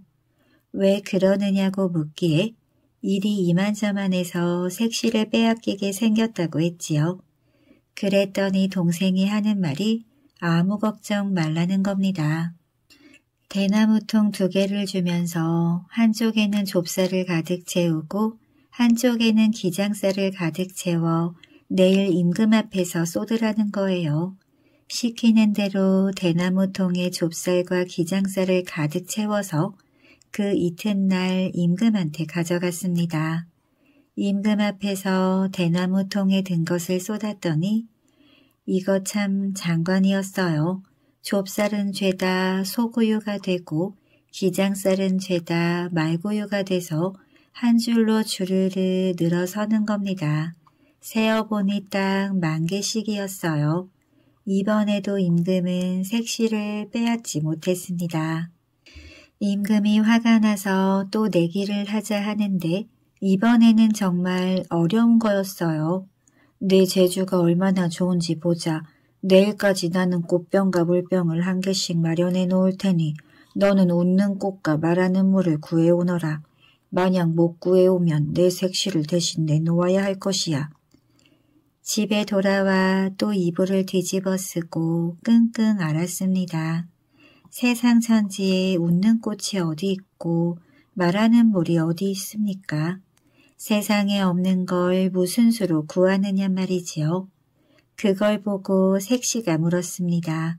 왜 그러느냐고 묻기에 일이 이만저만해서 당신을 잃게 됐다고 했지요. 그랬더니 색시가 한참 생각을 하더니 아무 걱정 말으라고 하는 겁니다. 오늘 밤 자기가 살던 곳에 갔다 올 테니 기다리고 있으라고요. 그러고 나서 색시는 집을 나갔는데 과연 이튿날 아침이 되니까 꽃 한 송이와 물 한 쪽박을 구해왔어요. 남편이 한 달 만에 간 곳을 하룻밤새 갔다 온 겁니다. 그것을 들고 임금 앞에 갔습니다. 먼저 꽃을 꽃병에 꽂았더니 금방 꽃송이가 소리를 내면서 웃었어요. 그 다음에는 쪽박에 든 물을 물병에 부었지요. 그랬더니 물이 말을 해요. 자꾸자꾸 나간다. 이러면서 말을 하는데 참 그 말처럼 물이 끝도 없이 자꾸자꾸 나왔습니다. 조그만 쪽박에서 물이 그냥 한도 끝도 없이 나와서는 물병에 차고 넘치고 방에 차고 넘치고 마루에 차고 넘치고 사흘 밤 사흘 낮 동안 나와서 대궐이 온통 물에 다 잠겼대요. 임금은 물에 빠져 죽고 대궐이 있던 자리는 연못이 되었지요. 그 집 식구는 그 뒤에도 오래오래 잘 살았다고 합니다. 오늘의 동화 농부와 참새 어느 마을에 심술궂은 아내와 마음씨 착한 늙은 농부가 살았습니다. 부부 사이에는 자식이 없었어요. 그래서 늙은 농부는 적적한 마음을 달래기 위해 작은 참새 한 마리를 정성껏 키웠습니다. 농부는 매일 일이 끝나고 집에 오면 저녁을 먹을 때까지 참새에게 이야기를 하고 어루만져 주었어요. 그리고 자기 밥그릇에 있는 음식을 참새에게 먹여주기도 하였습니다. 늙은 농부는 친자식처럼 참새를 보살폈어요. 그러나 할머니는 누구에게나 못되게 굴었습니다. 할머니는 특히 참새를 싫어했어요. 그래서 할아버지에게 집에서 쓸데없는 것을 키운다고 항상 잔소리를 했습니다. 할머니는 힘든 일을 싫어했기 때문에 빨래를 하는 날에는 더욱 화를 냈어요. 어느 날 할아버지는 논에 가서 일을 하고 할머니는 빨래할 준비를 하고 있었습니다. 할머니는 빨래풀을 조금 만들어서 식히기 위해 나무 사발에 넣어두었지요. 그런데 할머니가 일을 하고 있을 때 참새가 나무 사발 가장자리로 날아올라 빨래풀을 쪼아먹기 시작했습니다. 마침 뒤를 돌아본 할머니는 참새가 빨래풀을 쪼아먹는 모습을 보고 말았지요. 할머니는 너무 화가 나서 가위를 들고 쫓아가 참새의 혀를 잘라버렸습니다. 그리고 참새를 하늘로 던졌지요. 이 집에서 나가 더러운 작은 새 같으니라고. 가엾은 참새는 숲속으로 멀리 날아갔습니다. 잠시 후 일을 마치고 집에 돌아온 할아버지는 참새가 사라진 걸 알았습니다. 할아버지는 애타게 참새를 찾으러 다녔지만 참새는 어디에도 없었어요. 그 모습을 본 할머니는 낮에 있었던 일을 모두 털어놓았습니다. 할아버지는 몹시 슬펐어요. 그래서 다음 날 아침 참새를 찾기 위해 숲으로 떠났습니다. 할아버지는 걸으면서도 계속 소리쳐 참새를 불렀어요. 작고 예쁜 참새야, 어디에 있니? 작은 참새야. 그때 갑자기 참새 한 마리가 할아버지 앞으로 날아왔습니다. 참새는 아름다운 기모노를 입고 사람처럼 말을 했어요. 안녕하세요, 주인님. 참새가 말했습니다. 주인님 많이 피곤하시죠? 부탁이니 저희 집에 오셔서 쉬었다 가세요. 할아버지는 참새가 사람처럼 말하는 것을 보고는 요정 참새가 틀림없다고 생각했습니다. 참새를 따라간 할아버지는 곧 숲속의 어느 아름다운 집에 도착했어요. 참새에게는 많은 딸이 있었고 그 딸들은 할아버지를 위해 잔치를 벌였습니다. 참새들은 할아버지에게 맛있는 음식과 술을 대접했어요. 그중네 딸은 아름다운 참새춤도 보여주었습니다. 참새들이 음악에 맞추어 우아하게 춤을 추자 할아버지도 박수를 치며 노래를 따라 불렀어요. 할아버지가 흥겹게 놀고 있는 사이 이미 해가 저물어 어두컴컴해지고 있었습니다. 할아버지는 할머니가 혼자 있으니 빨리 집에 가야 한다고 말했어요. 참새는 할아버지에게 더 오래 머물기를 청했습니다. 할아버지 역시 너무 즐거워서 떠나고 싶지 않았지만 할머니 걱정이 앞섰어요. 네 마음은 알지만 진짜로 빨리 가야 한단다. 그럼 그동안 주인님이 저에게 베풀어 주신 은혜에 대한 보답으로 선물을 드리고 싶습니다. 참새는 이렇게 말하더니 두 개의 바구니를 들고 왔습니다. 하나는 크고 무거웠고 다른 하나는 작고 가벼웠어요. 하나를 고르세요. 참새가 말했습니다. 할아버지는 고마워하며 작은 바구니를 골라 집으로 출발했지요. 집에 도착한 할아버지는 할머니에게 숲에서 일어난 일을 모두 말해 주었습니다. 할아버지와 할머니가 바구니를 열어보니 그 안에는 금, 은, 다이아몬드, 홍옥, 산호, 금화 같은 진귀한 것들이 가득했어요. 바구니에는 할아버지와 할머니가 죽을 때까지 부자로 살 수 있을 만큼 많은 보물이 들어 있었습니다. 할아버지는 참새가 준 보물을 보고 진심으로 고마운 마음이 들었어요. 하지만 욕심 많은 할머니는 화가 났습니다. 멍청한 영감 같은 이라고 왜 큰 바구니를 고르지 않았어요? 그랬다면 더 많은 보물을 가져왔을 텐데 내가 큰 바구니를 가지러 참새의 집에 가겠어요. 할아버지는 할머니에게 이 정도면 충분하니 더 이상 욕심 부리지 말라고 말했습니다. 그러나 할머니의 마음은 이미 돌이킬 수 없었어요. 할머니는 집신을 신고 숲으로 출발했습니다. 할머니는 참새의 집에 도착했어요. 그리고 아주 친절하게 참새에게 말을 건넸습니다.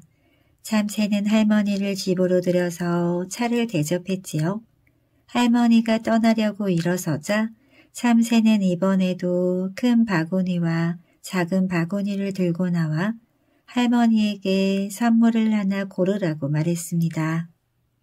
할머니는 큰 바구니를 덥석 집었어요.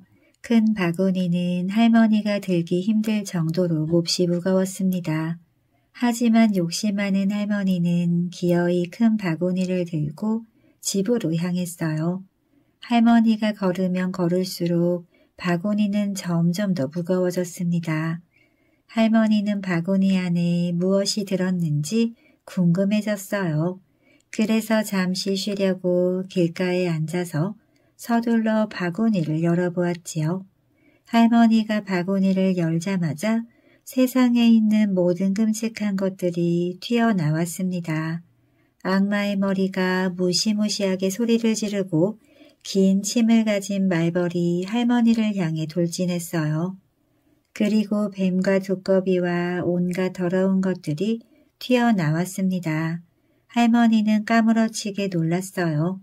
할머니는 펄쩍 뛰더니 쏜살같이 집을 향해 달려갔습니다. 집에 간신히 도착한 할머니는 할아버지에게 숲에서 무슨 일이 있었는지 이야기하고는 진심으로 이렇게 말했습니다. 다시는 못되게 굴지도 않고 지나친 욕심도 부리지 않을게요. 약속해요. 할머니는 이 일로 많은 것을 깨달았습니다. 그 후 할머니는 아주 친절한 사람이 되었고 할아버지가 정원에 날아온 새들에게 먹이를 주는 것도 항상 도와주었다고 합니다. 오늘의 동화 이생의 사랑 성도 낙타교 옆에 이생이라는 사람이 살고 있었습니다. 이생의 나이는 18이었는데 외모가 맑고 날렵했으며 타고난 자질이 뛰어났지요. 고려시대 최고 교육기관인 국학에서 일찍부터 공부했는데 그 길을 다니면서도 늘 시를 읽고는 했습니다. 한편 선중리 한 부잣집에는 최씨성을 지닌 아가씨가 살고 있었습니다. 그녀의 나이는 열대여섯 살쯤으로 자태가 아름답고 술을 잘 놓고 시를 잘 지었지요. 그래서 세상 사람들은 그 두 사람을 두고 이렇게 칭찬했습니다. 멋진 이도령, 아름다운 최낭자, 그 제주와 용모를 듣기만 해도 굶주린 배가 부르겠네. 이 생은 일찍이 책을 옆에 끼고 국학에 공부하러 갈 때마다 항상 최부잣집 북쪽 담장을 지나다녔습니다. 그 담 밖에는 수양버들 수십 그루가 빙 둘러 있었고 이생은 버드나무 가지가 한들거리는 아래서 쉬다 가곤 했습니다. 공부하러 가던 이생이 하루는 무심코 담장 안을 엿보니 온갖 이름난 꽃이 활짝 피어 있었고 벌과 새가 다투어 노래하고 있었습니다. 활짝 핀 꽃들 사이로는 작은 누각이 보였지요. 누각은 구슬로 만들어진 발로 반쯤 가려져 있었고 비단 장막이 낮게 드리워져 있었습니다. 그 안에서는 아름다운 한 여인이 술을 놓다 지친 건지 지루한 건지 잠깐 바늘을 놓고 턱을 괴고 앉아 있었습니다. 여인은 시를 읊기 시작했습니다. 여인이 시를 읊는 소리를 들은 이생은 가만히 있을 수가 없었지요. 자기도 시를 지어 마음을 전하고 싶었습니다. 그러나 담장이 높고 뜰은 깊숙해서 그저 서운한 마음으로 자리를 떠날 수밖에 없었습니다. 이 생은 공부를 하고 돌아오는 길에 다시 최신의 북쪽 담장 밖에 섰습니다. 그러고는 백지 한 장에 시 세 편을 써서 귀와 조각을 매달아 담장 안으로 던졌습니다. 백지에는 이런 시가 쓰여 있었습니다. 무산 열두 봉우리에 안개가 첩첩 쌓였는데 반쯤 드러난 뾰족 봉우리가 꽃무더기로 울긋불긋하구나. 초나라 양왕의 외로운 꿈이 괴로우니 무산에서 양양과 사랑을 나눈 여인이 그랬듯 아침이면 구름 되고 저녁이면 비가 되어 내려오지 않으시려나. 전안의 사마상녀가 타광손의 딸 탕문군을 거문고 연주로 유혹할 때 마음속의 품은 정은 이미 흠뻑 깊었지. 붉은 담장 위로 핀 복사꽃 오약꽃은 바람 따라 어느 곳에 떨어지려나. 좋은 인연인지 나쁜 인연인지 부질없는 근심에 하루가 1년 같아라. 스물여덟 글자시로 이미 중매가 이루어졌으니 언제 남교에서 신선을 만날까. 최 씨는 시녀 향아에게 그가 던진 것을 살펴보라 시켰습니다. 시녀가 주워온 것을 보니 바로 이 생의 시였지요. 그녀는 시를 여러 번 읽고 또 읽었습니다. 그러고 나니 마음에 환한 기쁨이 벅차오르며 이 생을 좋아하는 마음이 생겼지요. 그녀는 나무 조각에 여덟 글자를 써서 담장 밖으로 던졌습니다. 나무 조각에는 이렇게 쓰여 있었습니다.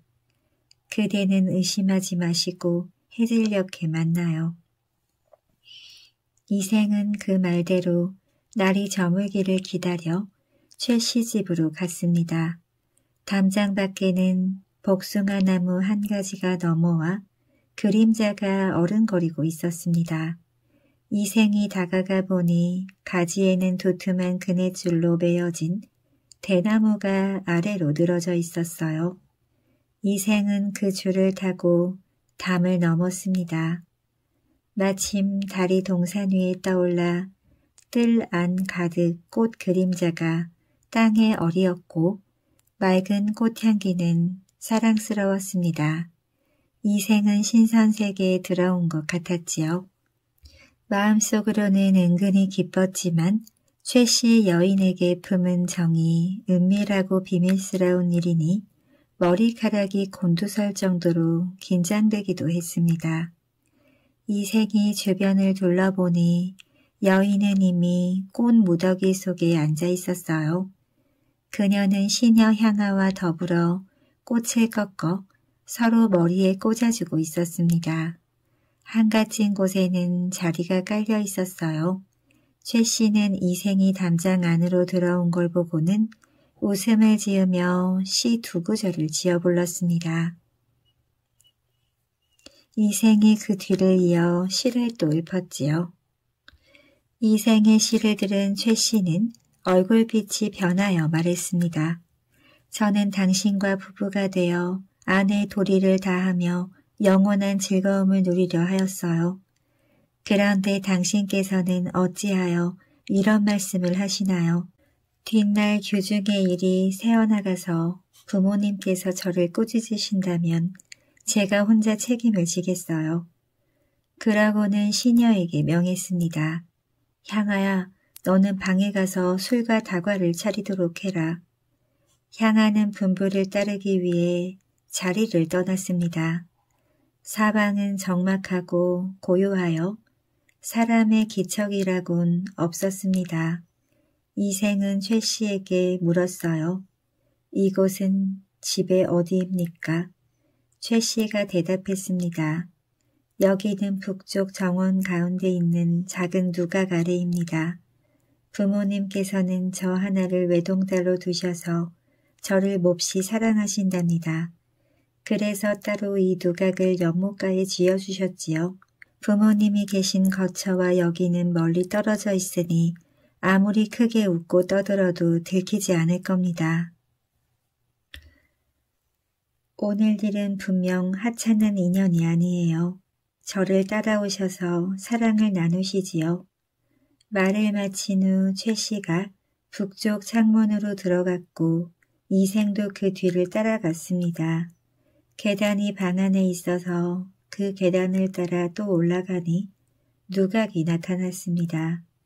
방 안의 책상은 말끔했고 종이, 붓, 벼루, 먹 등의 문방구가 매우 가지런하게 정돈되어 있었어요. 한쪽 벽에는 영강 첩장도와 유황 고목도가 걸려 있었습니다. 둘 다 유명한 그림으로 영강 첩장도는 안개 낀 강 위에 첩첩이 쌓인 산봉우리를 유황 고목도는 대나무와 고목을 그린 것이었습니다. 그림에는 시가 적혀 있었는데 누가 지은 시인지는 알 수 없었습니다. 또 한쪽 벽에는 사계절의 경치를 읊은 시가 각각 네 편씩 붙어 있었는데 역시 누가 지었는지는 알 수가 없었습니다. 그 시는 원나라 서화가인 조맹부의 서체를 본떠 글자체가 아주 정교하고 아름다웠습니다. 그 방의 한쪽 옆에는 작은 방 하나가 따로 있었고 그 안에는 휘장, 요, 이불, 베개가 아주 잘 정돈되어 있었습니다. 휘장 밖에서는 사양을 태우고 난초기름으로 등잔불을 켜놓았는데 밝은 불빛이 휘장 안을 비추니 마치 대낮처럼 환했습니다. 이생은 최 씨와 더불어 사랑을 나누며 그곳에 며칠 더 머물렀습니다. 그러던 어느 날 이생이 최 씨에게 말했어요. 옛 성인이 말씀하시기를 부모가 계시면 밖에 나갈 때에는 반드시 어디로 가는지 알려야 한다고 했지요. 그런데 지금 저는 부모님께 아침 저녁 문안 인사를 못 드린 지 벌써 사흘이나 되었네요.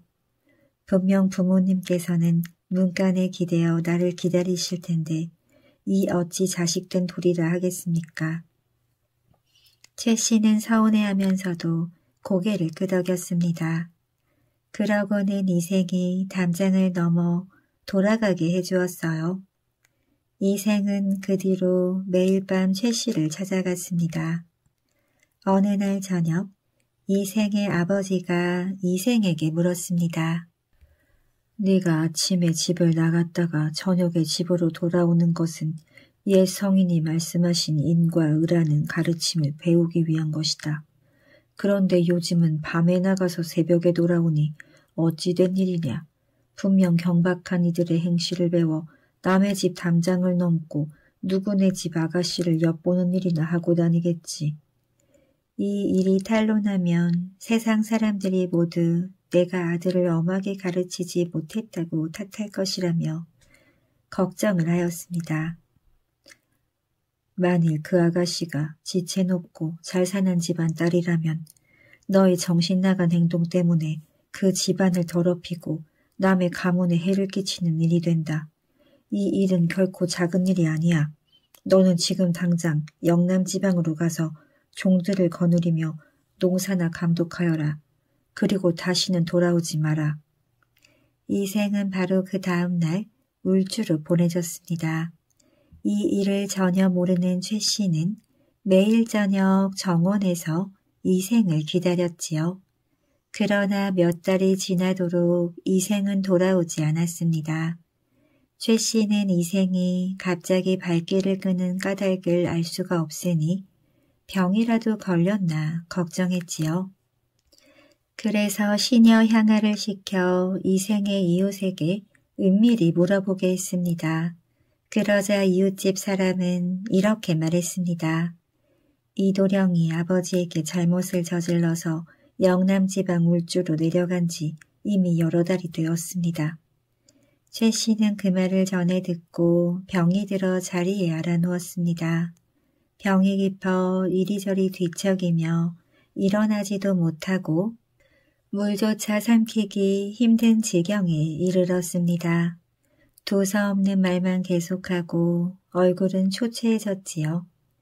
최 씨의 부모는 건강했던 딸이 어느 날 갑자기 큰 병에 들자 크게 걱정하며 병의 증상이 어떠한지 이리저리 물어보았습니다. 하지만 최 씨는 입을 다물고 아무 대답도 하지 않았지요. 그러던 중 최 씨의 부모가 딸의 글상자를 들추어 보다가 시가 적혀 있는 종이 한 장을 발견했습니다. 그것은 예전에 이생이 기와 조각에 묶어 담장 안으로 던져보낸 시였지요. 그 시에는 최 씨를 사모하는 마음이 담겨 있었습니다. 최 씨의 부모는 예상하지 못한 일에 깜짝 놀랐어요. 그들은 그제야 모든 사실을 짐작하며 말했습니다. 하마터면 우리 딸을 잃을 뻔했구나. 그러고는 딸에게 물었습니다. 이 생이 누구냐? 일이 이렇게 되자 최 씨도 더 이상 숨길 수가 없었습니다. 최 씨는 목구멍에서 겨우 나오는 작은 목소리로 부모님께 자세히 말씀드렸습니다. 어머님 아버님께서 길러주신 은혜가 깊으니 감히 숨기질 못하겠습니다. 제가 생각하기에 남자와 여자가 서로 사랑하는 마음이 생기는 것은 인간에게 자연스러우며 지극히 중요한 일입니다. 여자가 늦지 않은 나이에 배필을 구하는 마음을 읊은 시가 시경에 주남에 있고 여자가 정조를 지키지 못하면 흉하다고 경계하는 말이 주역에도 있습니다. 그러나 저는 버들처럼 가녀린 몸으로 뽕나무 잎이 시들기 전 결혼해야 한다는 말을 유념치 못하고 길가에 이슬이 옷게 젖듯이 절개를 지키지 못했습니다. 덩굴이 다른 나무에 칭칭 얽혀 떨어지지 못하듯 절개 없는 행실을 하였으니 죄가 이미 넘쳐 집안에 누를 끼쳤습니다. 그런데 저 신이 없는 이생 도령은 저와 사랑을 나눈 후 도망가 버리니 원망이 천갈래 만갈래 생겨났습니다. 여리고 약한 몸으로 서러움과 근심을 견디며 홀로 지내다 보니 그리운 정은 나날이 깊어져 거의 죽을 지경에 이르렀습니다. 곧 한 맺힌 귀신이 될 듯합니다. 부모님께서 저의 소원을 들어주신다면 제 남은 목숨을 보존하게 될 것입니다. 그러나 만약 제 간곡한 청을 거절하신다면 그저 죽음만 기다릴 것입니다. 이 생과 더불어 저승에서 논일지언정 절대 다른 사람과 결혼하지는 않겠습니다. 딸의 뜻을 알게 된 채 씨의 부모는 병에 대해서 다시는 묻지 않았습니다. 그저 한편으로는 조심스럽게 타이르고 한편으로는 달래면서 딸의 마음을 풀어주기 위해 노력했지요. 그러고는 중매 예절을 갖추어 이생의 집에 결혼 의사를 물었습니다. 이생의 아버지는 최 씨 집안의 문벌이 어떠한지 물어보고는 대답했습니다. 제 자식 이생이 비록 나이가 어려 잠시 제멋대로 바람이 나긴 했지만 학문에 정통하고 용모도 난 부끄럽지 않습니다. 자식에게 바라는 바는 앞으로 장원급제에서 세상에 이름이 떨치는 것이요. 그러니 빨리 결혼시켜 앞길에 차질이 생기는 것을 원치 않소이다. 중매하는 사람이 돌아와 최 씨의 아버지에게 이 말을 아뢰니 최씨 집안에서 다시 이씨 집안에 이러한 말을 전했습니다. 한때 벗들이 모두 말하기를 그대가 아드님의 재주가 남보다 뛰어나다고 칭찬들을 하더군요. 비록 아직은 웅크리고 있지만 어찌 끝내 연못 속에 머물러 있는 이무기와 같겠습니까? 속히 좋은 날을 잡아 두 가문의 혼사를 지르는 것이 좋겠습니다. 중매하는 사람이 또 가서 그 말을 이생의 아버지에게 전하니 그가 말했습니다. 저 역시 어려서부터 책을 붙들고 경전을 파고들었지만 늙도록 성공하지 못했습니다. 노비들은 도망가고 친척들도 잘 도와주지 않아서 생활이 쓸쓸하고 살림도 궁색합니다. 그런데 문벌 좋고 번성한 집안에서 어찌 한낱 한미한 유생을 사위 삼으려 하신단 말입니까? 이는 반드시 일 만들기 좋아하는 사람들이 우리 집안을 지나치게 죽혀 세워서 귀 되게 잘못 말한 것이겠지요. 중매하는 사람이 다시 최씨 집안에 가서 이 말을 전하니 최 씨의 아버지가 말했습니다. 신랑 집에서 신부 집에 보내는 예물이나 의복은 제가 모두 알아서 마련하겠습니다. 좋은 날을 가려서 결혼 날짜만 정해주시면 되겠습니다. 중매하는 사람이 다시 가서 이 말을 전했습니다. 이생의 집안에서는 일이 여기까지 이르자 그제야 마음을 돌려 이생을 불러다 뜻을 물었지요.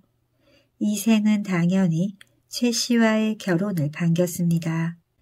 길이를 택해 드디어 혼례를 올리고 끊어졌던 사랑과 인연의 끈을 다시 잇게 되었습니다.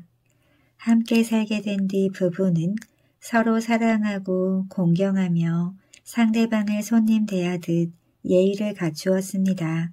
부부로서 최고의 예를 갖추었다고 후세에 전해지는 양홍과 맹광, 포선과 환소군 같은 부부라도 그들의 절개와 의리를 따를 수 없었습니다. 이생은 이듬해 과거에 급제하여 높은 벼슬에 오르고 그 명성이 조정에 알려졌어요. 그런데 얼마 지나지 않아 나라에는 큰 난리가 났습니다. 고려 공민왕 10년인 1361년 홍건적이 고려의 수도인 개성을 점령했고 왕은 복주로 피난을 갔습니다. 홍건적은 집을 불태워버리고 사람을 죽이고 가축을 잡아서 구워 먹었습니다. 백성들은 부부 친척끼리도 서로 보호하지 못하고 이리저리 뿔뿔이 달아나 각자 살 길을 도모해야 하는 처지가 되었지요. 이생도 최 씨와 함께 외진 산골에 숨어들었는데 도적 한 명이 칼을 빼들고 그들 뒤를 쫓아왔습니다. 이생은 도망가서 겨우 목숨을 건졌지만 최 씨는 도적에게 잡히고 말았어요. 도적이 다가가 최 씨의 몸을 짓밟으려 하자 최 씨는 큰 소리로 꾸짖으며 말했습니다. 호랑이에게 물려 죽은 귀신 같은 놈아, 나를 죽여 삼켜버려라. 차라리 죽어 승냥이와 이리 뱃속에서 장사 지낼지언정 어찌 개돼지 같은 놈의 짝이 되겠느냐. 도적은 최 씨의 말에 분노하여 최 씨를 단칼에 죽이고 말았습니다. 한편 도적에게서 달아난 이생은 들판에 숨어 겨우 목숨을 보전했지요. 얼마 후 적이 모두 물러갔다는 소식을 듣고 부모님이 사시던 옛집으로 찾아갔습니다. 하지만 그 집은 전쟁 중에 불에 타버려 사라지고 없었지요. 그래서 최 씨의 집으로 가보았더니 행락만 황량하게 남은 가운데 쥐가 찍찍대고 새가 울고 있었습니다. 이 생은 슬픔을 억누를 길이 없어 작은 두각에 올라가 눈물을 흘리며 길게 한숨만 지었습니다. 어느덧 날이 저물었어요. 그는 우두커니 혼자 앉아서 담장을 넘어 들어와 최 씨와 처음 만나고 함께 사랑을 나누던 일을 떠올렸습니다. 모든 게 한바탕 꿈만 같았어요. 밤 10시경이 되자 달빛이 희미한 빛을 내뿜으며 들보를 비추었습니다. 그런데 행랑 끝에서 발자국 소리가 들려오더니 점점 소리가 가까워졌어요. 발자국 소리의 주인공은 바로 최 씨였습니다. 이생은 최 씨가 이미 죽었다는 사실을 알고 있었어요. 죽은 사람이 다시 살아날 수는 없으니 눈앞의 최 씨는 분명 최 씨의 혼백 일 터였습니다. 하지만 이 생은 최 씨를 사랑하는 마음이 너무나 깊은 나머지 이상하게 여기지 않고 물었습니다. 당신은 어디로 피해 목숨을 부지할 수 있었나요? 최 씨는 이생의 손을 잡고 한바탕 통곡하더니 그간의 사정을 이야기했습니다.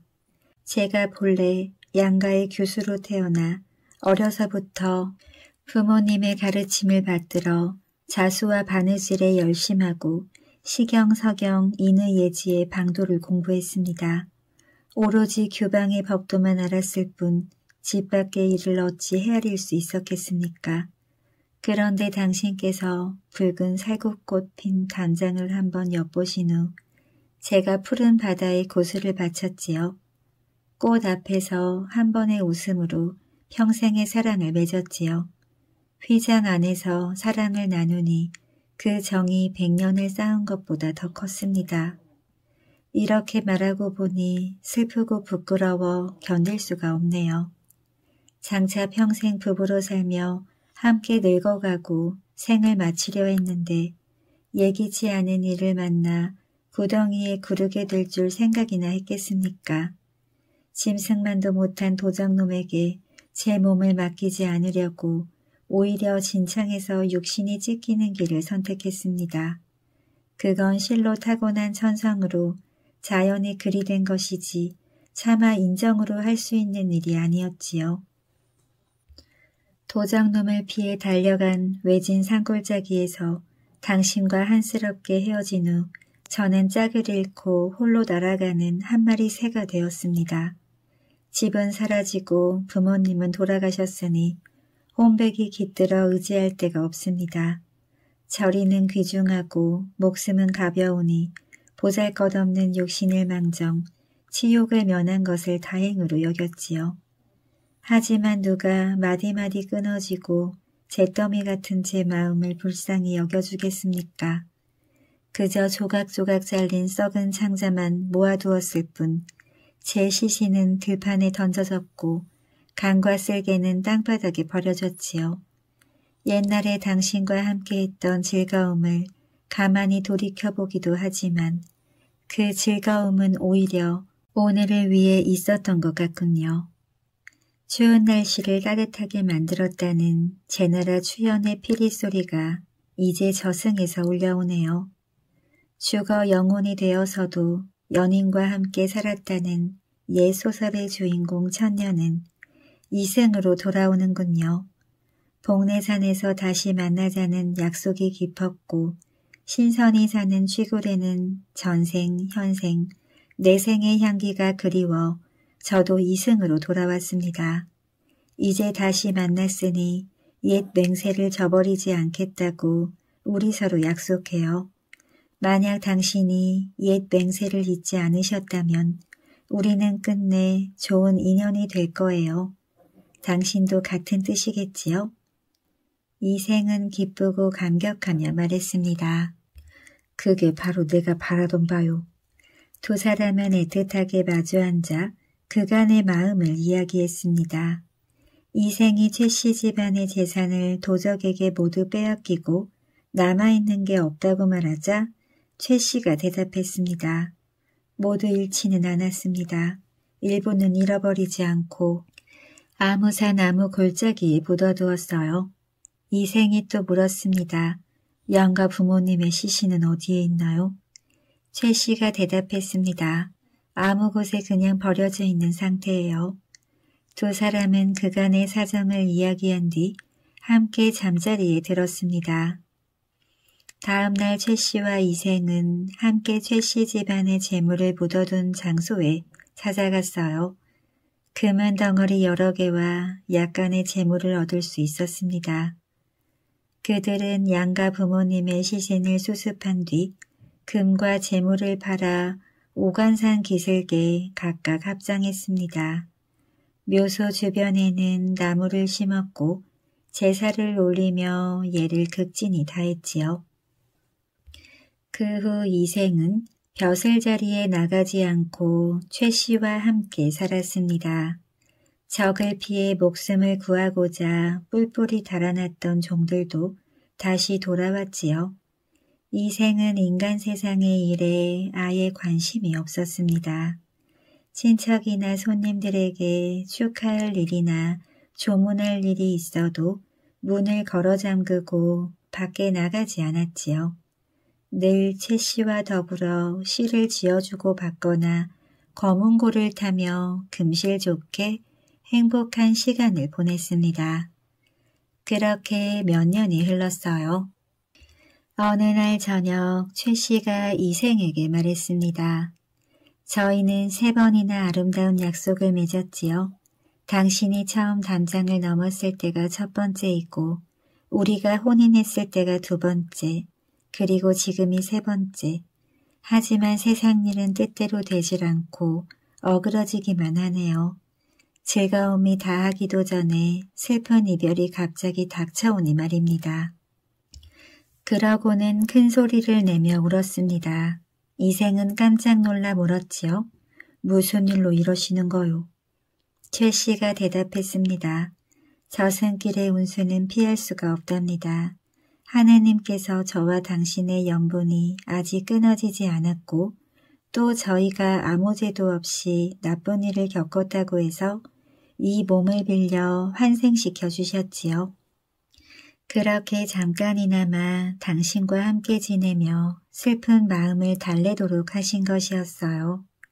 그러나 인간 세상에 오래 머물면서 이승의 사람들을 미혹시킬 수는 없답니다. 최 씨는 시녀를 시켜 술을 가져오게 하고는 노래를 부르면서 이생에게 술을 권했습니다. 최 씨는 한마디씩 노래를 부를 때마다 터져나오는 눈물을 삼키느라 곡조를 제대로 이어가지 못했습니다. 이생도 슬픔을 걷잡지 못해 한탄하며 말했지요. 차라리 당신과 함께 저 세상으로 갈지언정 어찌 홀로 남은 목숨을 부지하겠소. 지난번 난리를 겪은 뒤 친척과 종들이 뿔뿔이 흩어지고 돌아가신 부모님 유해가 들판에 버려져 있었소. 그때 당신이 아니었다면 누가 부모님을 묻어드리고 제사를 지냈겠습니까? 옛 성현이 말씀하시기를 부모님이 살아계실 때는 예로서 섬기고 돌아가신 뒤에는 예로서 장사를 지내야 한다라고 했는데 당신은 이를 모두 다 실천했습니다. 전성이 효성스럽고 인정이 두터웠기 때문이지요. 당신의 정성이 너무나 감격스러우나 한편으로는 나 자신에 대한 부끄러움을 참기 힘들 정도였소. 부디 당신께서는 인간 세상에 더 오래 머물렀다가 백년 뒤에 나와 함께 흙으로 돌아가 묻힙시다. 최 씨가 대답했습니다. 당신의 목숨은 아직 남아있지만 저는 이미 귀신의 명부에 이름이 올라있으니 이곳에 더 오래 머물 수가 없답니다. 만약 제가 인간 세상에 미련을 두어 운명의 법도를 어긴다면 단지 저에게만 죄가가 미치지 않고 당신에게까지 누를 끼치게 될 겁니다. 다만 제 유골이 아무 곳에 흩어져 있으니 은혜를 베풀어 주시려면 제 유골이나 거두어 주십시오. 비바람과 햇볕 아래 나뒹굴지 않게 해주세요. 두 사람은 서로 바라보며 더 이상 아무 말도 못하고 눈물만 줄줄 흘렸습니다. 최 씨가 마지막으로 말했어요. 서방님, 부디 잘 계세요. 말을 마치자 최 씨의 자취가 점점 희미해지더니 마침내 흔적도 없이 사라져 버렸습니다. 이생은 최 씨의 유고를 거두어 부모님 무덤 옆에 묻어주었습니다. 장례를 마치고 나서 이생은 내내 최 씨와의 추억을 떠올렸지요. 그러다가 그리움 때문에 병이 들어 몇 달 뒤 세상을 떠나고 말았습니다. 두 사람의 이야기를 들은 사람들은 그들의 사랑에 마음을 아파했지요.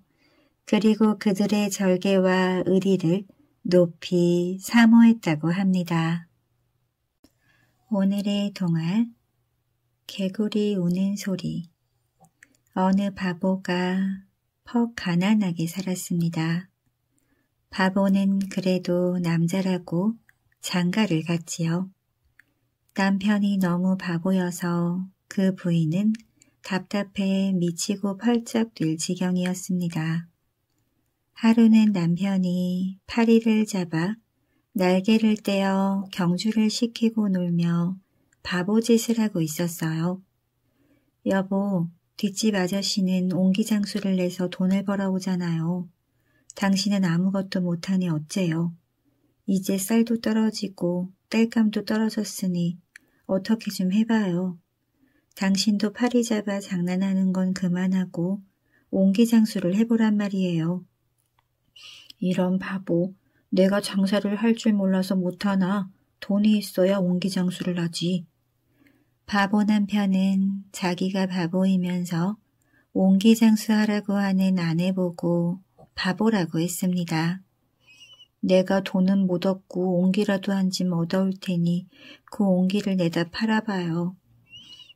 좋지. 부인은 옹기 굽는 집에 가서 사정사정을 해 옹기 한 짐을 겨우 얻어왔습니다. 드디어 남편은 옹기를 팔러 떠날 채비를 했어요. 부인은 바보인 남편을 믿지 못해 단단히 주의를 주었습니다. 옹기를 지고 가다가 옹기가 팔리면 그 값을 줄 거예요. 알았어. 옹기값 잘 받아오라는 거지? 그래요. 꼭 돈만 받으려 하지 마시고 돈을 주면 돈을 받고 곡식을 주면 곡식을 받으세요. 그러지 보리콩 파치 곡식이지? 남편은 그런 것쯤은 다 알고 있다는 듯 대답을 시원하게 했습니다. 남편은 옹기를 지고 가며 말했어요. 보리쌀 받아요, 콩 받아요, 팥도 받아요. 옹기를 팔고 곡식을 주는 대로 받으라는 말은 옹기 파는 얘기는 쏙 빼고 곡식을 받는다고 했으니 남편은 옹기 하나 팔지를 못했습니다. 옹기를 하나도 못 판 바보 남편이 툴툴거렸어요. 보리쌀 콩팥을 받는데도 사람들이 안 산다던데? 옹기를 하나도 못 판 남편에게 부인이 말했습니다. 곡식을 받는다고 하지 마세요. 곡식을 받아오라며 옹기를 사고 돈 대신 곡식을 주면 받으라는 말이에요. 옹기와 곡식을 바꾸라는 말이군. 그래요. 그렇게 쉬운 것을 왜 돌려서 말해. 그 다음날 부인은 바보 남편에게 더 철저하게 주의를 주었습니다. 옹기를 팔고 그 대가로 쌀 대신 잡곡을 주면 받아오라고 조목조목 적어주었지요. 하여튼 돈이나 쌀 외에 여기에 적은 잡곡들을 주면 무조건 팔아도 됩니다. 이튿날 남편은 옹기짐을 지고 옹기를 팔러 길을 나섰어요. 그런데 산길을 걷다가 그만 돌부리에 걸려 넘어지고 말았습니다. 팔려던 옹기는 다 깨져버렸지요. 성한 옹기가 하나도 없자 바보 남편은 깨진 옹기를 몽땅 버렸습니다. 그리고 빈 지게를 지고는 터덜터덜 집으로 돌아왔어요. 빈몸인 걸 보니 옹기는 다 팔았소? 옹기 짐이 없자 아내는 다 판 줄 알고 좋아했습니다. 다 팔긴 그럼 어째소? 자빠지는 바람에 다 깨트려 버렸소. 부인은 속이 상했지만 옹기 한 짐을 더 얻었습니다. 그리고 남자들이 입는 중의를 주었어요. 그때는 자루도 귀했는지 자루 대신에 중의를 썼습니다. 중의는 남자가 입는 여름 호바지예요. 부인은 남편에게 중의를 주며 말했습니다. 이걸 바지 위에 껴입으세요. 바지를 왜 또 껴입으라는 거야? 곡식을 주는 사람이 있거든 이걸 벗어서 자루 대신 곡식을 여기에다가 넣어가지고 오세요. 아, 그러지. 남편의 대답은 언제나 시원했습니다. 남편은 아내의 말대로 중의를 껴입고 어기적 어기적 옹기를 팔러 갔지요. 바보 남편은 어느 집에 들어가서 말했습니다. 곡식 줄래요? 옹기 사고 돈 줄래요? 곡식을 주겠다면 내 중의를 벗고요. 여자들이 아무 말이 없자 바보 남편의 중의를 훌떡 벗어내렸어요. 소리를 지르는 아낙네가 있는가 하면 애구머니나 하며 밖으로 도망을 가는 처녀들도 있었습니다. 바보 남편은 옹기가 안 팔리니까 이 집에서 훌러덩 저 집에서도 훌러덩 중의를 마구 벗었다 입었다 했어요. 그러니 마을에서는 난리가 났지요.